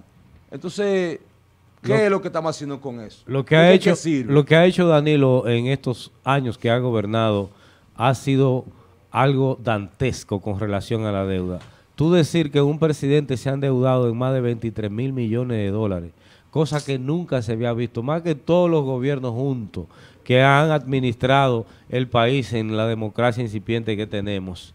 Y decir nuevamente en un presupuesto más deuda, más de 4 mil millones de dólares, sinceramente es una irre- irresponsabilidad Pero yo- a las generaciones presentes y futuras, cosa, que mano. son los que tienen que pagar esa deuda. ¿eh? En la Suprema Corte de Justicia, que tiene que recibir un presupuesto, que no se lo dan. Nadie te pone un recurso para eso. Los ayuntamientos, ahí está Fedomo, nadie te pone un recurso para eso. Todo el mundo se queja simplemente de que no le dan o de que las cosas se están haciendo mal, pero nadie actúa. Nadie hace nada. Ellos que son los afectados no actúan, no hacen nada. Entonces nosotros venimos aquí a veces como tontos útiles a, a hacernos eco de la crítica de ellos, pero no hay acción. O sea, no se puede llevar al gobierno a la legalidad. No se puede pedir al Tribunal Constitucional que se pronuncie Claro. relación a qué se le puede asignar a una cosa y qué no. Que le pusieron tres- lo que vamos solamente es ahí- hablar, hablar y hablar, Ya pero no ahí- se resuelve. 13 mil hay millones de pesos a, Estado a- no le puede obligar a- Oye, a- Vamos a... 13 mil millones de pesos a órganos a no de rango a no constitucional. hacer lo que la, lo que la a, a órganos dice. de rango constitucional. Fíjense bien, en, al Poder Judicial se le asignaron 8.619 millones de pesos frente a 13.781 millones de pesos para órganos de rango constitucional. Menos para la justicia que para publicidad. Eso es una cosa de loco. Es una cosa de Es loco. una cosa de loco. Eso es de loco, eso es de loco. Ay, no, hombre, pero- Y para vivienda, eso es cosa de loco. Vamos, a la, pa- al, vamos al, al- al WhatsApp, vamos a ver lo que dicen nuestros amigos televidentes desde sus casas o de los lugares Las donde se encuentran. televidentas también. Las televidentas, sí. sí, porque después... De género. Exacto. sí. A los 102 Ay, géneros. Ah. Lo dudo, hay conveniencia. Eso es con relación a la pregunta María. Polanco, con relación a la pregunta, exacto. Altagracia de Jesús del Bronx, New York, dice, muy buenos días, los felicito por tan lindo programa. Necesitamos un cambio de gobierno en nuestro país y que también las autoridades le paguen un salario justo para que en vez de agredir a los civiles mejor le protejan. Porque no todos, pero la mayoría de las autoridades no se puede confiar en ellos, son delincuentes. Es una lástima que en nuestro país uno se sienta seguro cuando esté en su casa, no se siente seguro. Imagínense en, un en otro lado. Espero que en estas nuevas elecciones podamos vivir tranquilos con un gobierno orden a esto, gracias. Bueno, ellos dicen que no se puede sentir seguro en su ¿Cómo casa. no? El, el- el terminal 2254 dice que Dios bendiga a todos los empleados de Telenor en estas eso? navidades. Gracias, amén, gracias. amén. Para sigue escribiendo. Navidad para Escriba. todos, sí, Eh, 11 mil millones para la Procuraduría General de la República. Vámonos a la pausa, señores. Yo estoy enfermo con tantos millones. 11 mil. Vámonos para una disco con eso.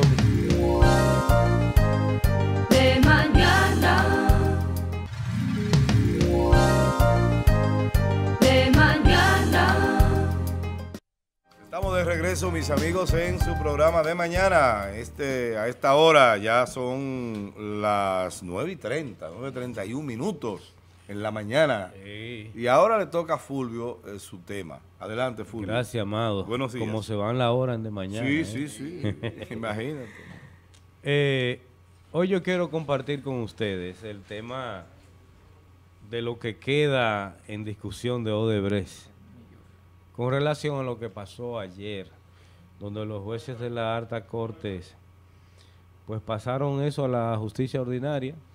Solo quedó uno, Tommy Galán, por su condición en, en la parte de la alta corte. Pero yo quiero empezar a compartir con ustedes qué es una delación premiada, amado. Una delación premiada. ¿Qué es? Tú como jurista. Que no pueda edificar. ¿Qué es una delación premiada? Bueno, delación es delatar y premiar es eh, eh, eh, darle a algo, un premio, una... Ok, entonces, esto se usa mucho en la justicia norteamericana, donde una persona que está imputada se llega a negociaciones en base a lo que él puede dar como información. La idea es que lo, puedan, que pasó con Quirino. Que puedan ser comprobadas. Exacto, sí. que puedan ser comprobadas. Ahí está el detalle, porque a nadie se le paga por decir cosas sin fundamento. Así es. sin tener pruebas. No, no, no, claro. Entonces, todos estos casos de Odebrecht se circunscribieron a delaciones premiadas porque habían pruebas habían pruebas.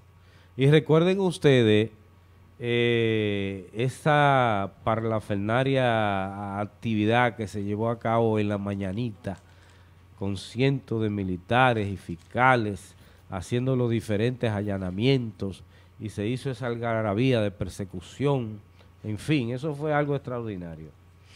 Y recuerden también ustedes eh, todas las cosas que dijo el procurador el procurador general de la República, Jan Alain, de todas las investigaciones que se hicieron. Ahora bien, esas delaciones premiadas parece que fueron ocultadas, fueron ocultadas intencionalmente, porque a la persona se le benefició con lo que él había divulgado. Sin embargo, lo que él había divulgado no se conoce todavía. Eh, y el organismo encargado de tener estas informaciones es la Procuraduría General de la República. Y él decía en su momento que 1.368 pruebas documentales fueron presentadas, 234 pruebas materiales fueron presentadas, 54 pruebas testimoniales, estoy leyendo, la cita del periódico El Día. Cuatro pruebas ilustrativas, 42 actos procesales, nueve interrogatorios, más de 800 mil transacciones y operaciones bancarias vigiladas y estudiadas, más de 1.500 cuentas bancarias y de productos, más de 400 personas investigadas, más de 500 inmuebles incautados. Esto fue algo fuera de serie. Y en base a esto, se hizo un expediente. Y ese expediente que se hizo, se fabricó como se fabrica un abrigo de tela de algodón o de tela de lana que tiene hilo.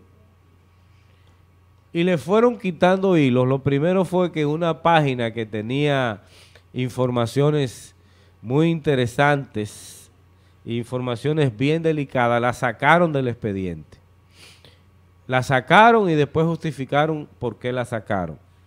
Le siguieron sacando hilos y cuando entraron toda esta gente a la justicia, bueno, pues la, más de la mitad se fue.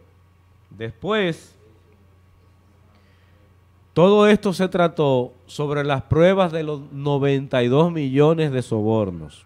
Nunca se trató el caso de más de mil millones de dólares de sobrevaluación de las obras.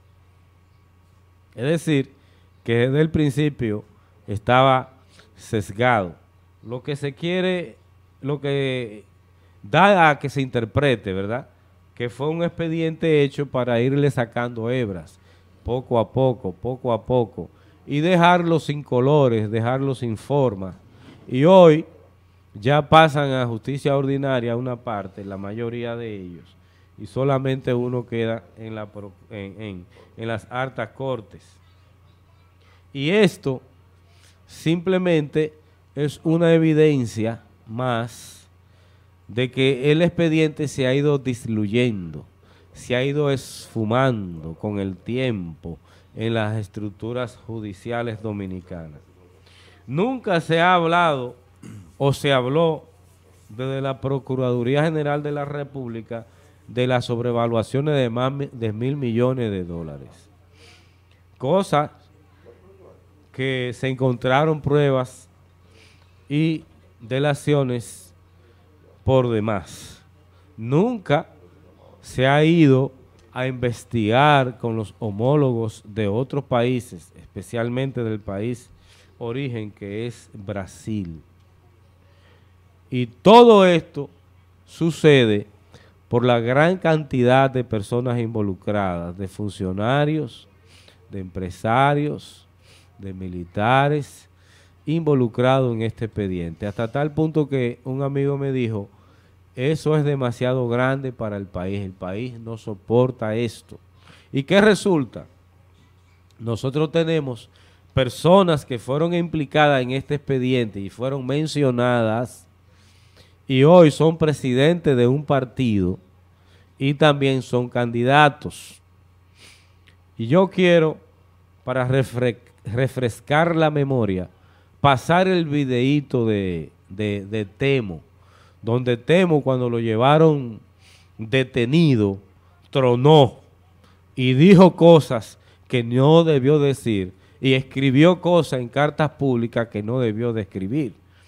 Así que para mejorar un poquito la memoria, yo quiero que producción me ponga el videito que yo envié sobre Temístocle Montaz, que hoy es el presidente del partido del PLD. Escuchemos. No se, no se puede descargar. No, no, no, no. Ese no fue el, el video que yo envié. Yo envié un video un video donde está Temo hablando. Temo está hablando, donde menciona ahí por su nombre a diferentes personas. Y menciona por su nombre al candidato actual. Que eso es simplemente... Ahí está. ok. Combate electoral que ya está en proceso. Obviamente tenemos que hablar porque surgen las preguntas y tenemos que responder. Quisiéramos, en la medida de, nuestro, de nuestra posibilidad, de dedicarnos a prestarle atención a nuestro verdadero adversario, que es el PRM y Luis Abinadel. Esa es la realidad. No, no, no, no perdamos. Para nosotros lo que está ocurriendo con el ex compañero. Sí, ese no es es el otro video, Israel. Ese que yo te estoy enviando ahora. Bien. Ya te lo envié, Israel. Yo, Mira, yo quiero escucharlo a él.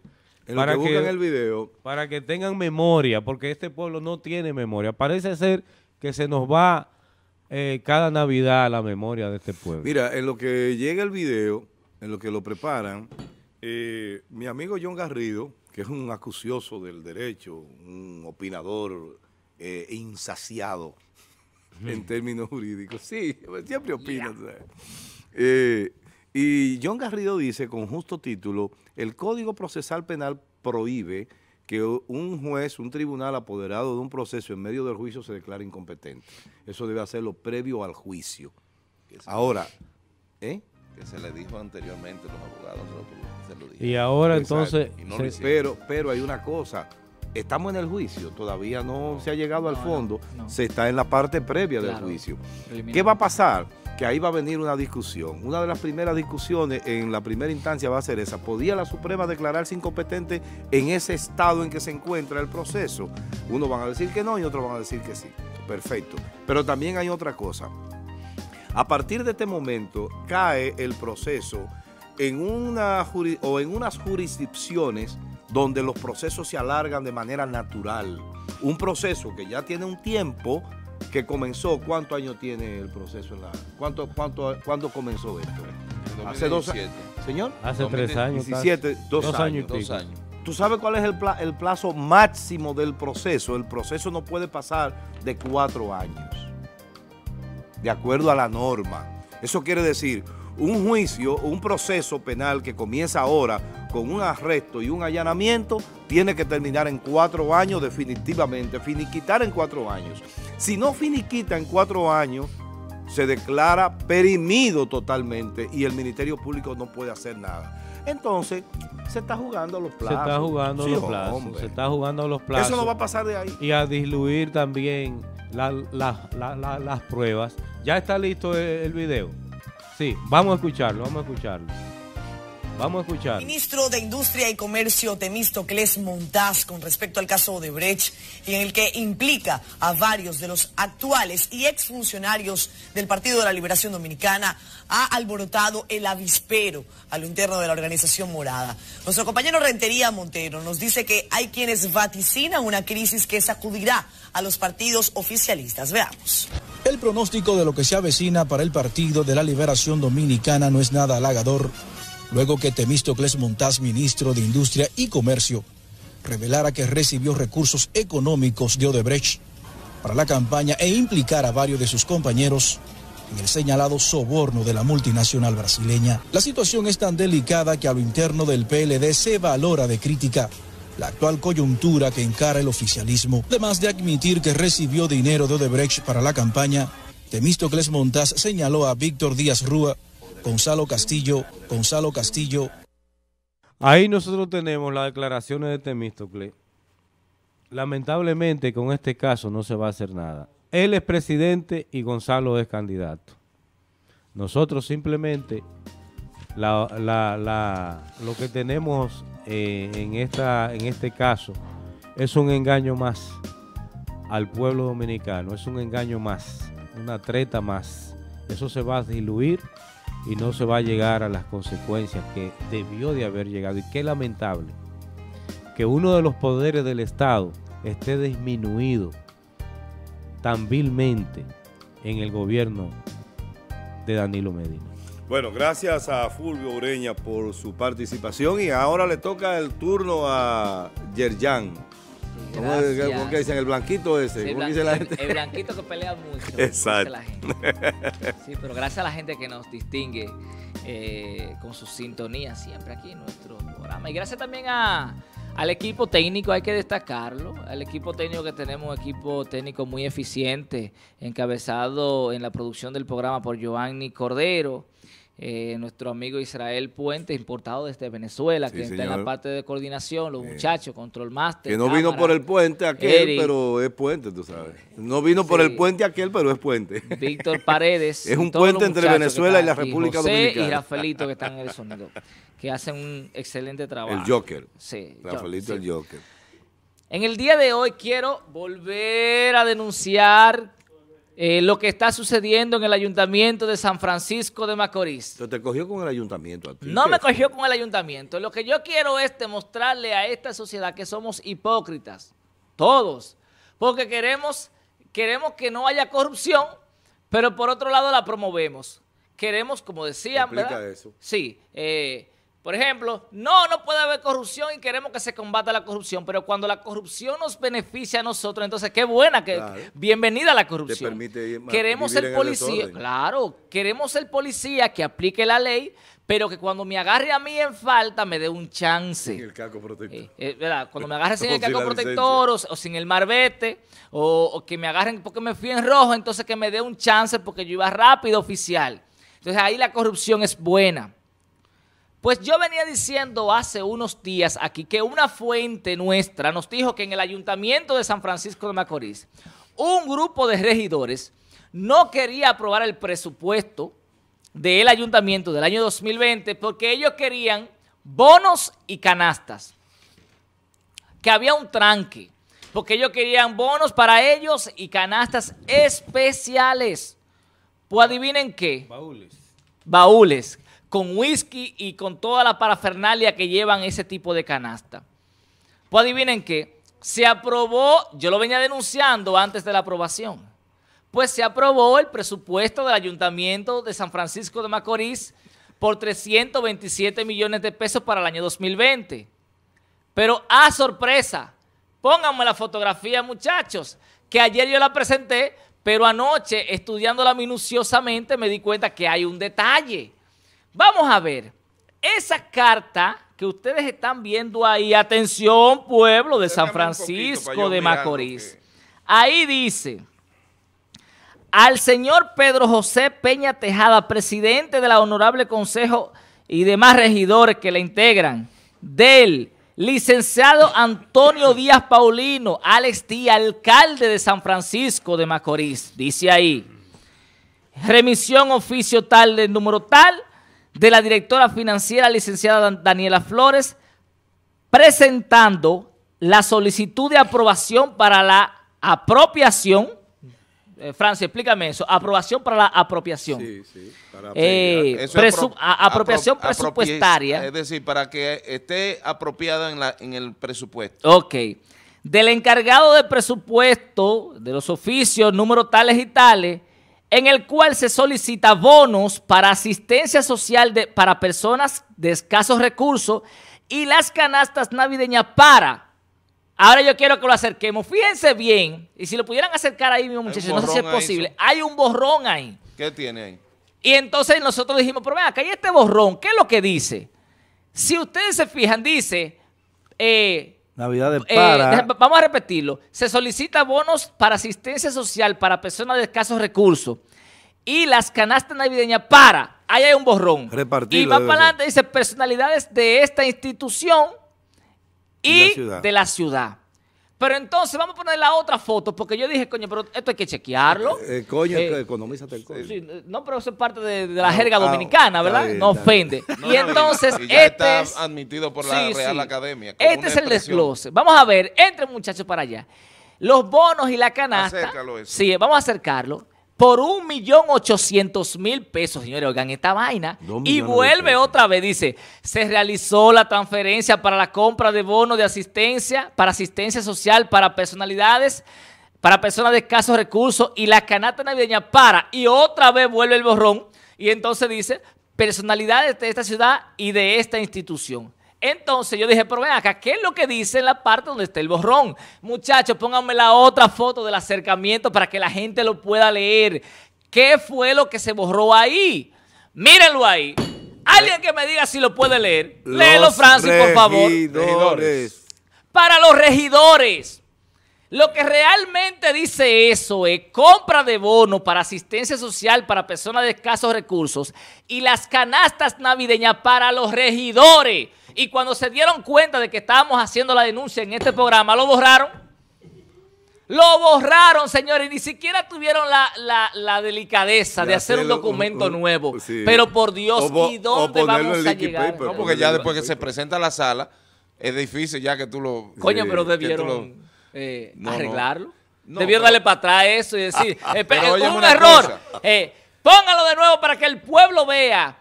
Están engañando al pueblo de San Francisco de Macorís. Pero Pusieron espérate, ahí. es una comunicación de la alcaldía, no de los regidores. Pero ajá, pero está ahí. Y está diciendo que para los ¿y por qué le hacen el borrón? El borrón? O sea, ¿por qué no quieren existe que la necesidad que- de que no se regidores no diga que es para no, los regidores? Y además, suponga usted que fuera para los regidores. ¿Por qué a los regidores que cobran 80 mil y pico de pesos mensuales hay que regalarle canasta en diciembre? ¿Por qué a personalidades de San Francisco de Macorís, independientemente de quién sea, de los cuartos del pueblo hay que regalarle canasta? Además, ¿a quién es? Porque si tú me dices que a quién, ¿a quién se le puede una canasta? ¿Al obispo? No, el obispo no necesita eso. ¿A quién se le puede una canasta? Además, a la gente que va a recibir los supuestos bonos, ¿de qué manera se le va a dar? O sea, ¿en qué lugar se le va a entregar y quiénes son esas personas? ¿Cuál es el criterio que se está tomando en cuenta para eso? Míralo ahí, ay, qué lindo. Para los regidores. Ale, pero por Dios, hay que tener un poquitico más de tacto cuando se van a hacer las cosas. Mírenlo ahí, dice clarito regidores. Sí, y abran la, fo- hay la- una la- llamada. la foto para que vean que está sellado, que eso no es un invento mío. Vamos a escuchar la llamada. Sí, buenos días, adelante. Pero por Sí, Dios. buenos días. Dígame. Es de las guaranas que le hablo. Ah, ok, Ay, muy bien, gracias. la. Es para informar que el dengue sigue cobrando vida. Ay, no me digas. Anoche, a esta madrugada, murió, murió una jovencita de 16 años aquí en las guaranas. Eh, En el hospital Eh, es- o en su casa, En una clínica murió. en una clínica. Sí, Ok. la, la internaron antenoche y ya está muerta. Ah, caray. Qué, qué- qué pena, lamentamos Bueno. esa, esa Y pérdida. para que sepa, porque a veces las autoridades... Hay que cuidarse del dengue. por la- y nuestra condolencia a la familia ya tendré, sé que tendremos información porque nuestro departamento Sí, que de se quede el prensa número ahí para que la llamemos a la muchacha. va a estar al tanto. Y fíjate que aquí en este programa estuvimos tratando si estaba de acuerdo con que el gobierno dirigiera desde salud pública para no alentar a las personas a que se manejara la información.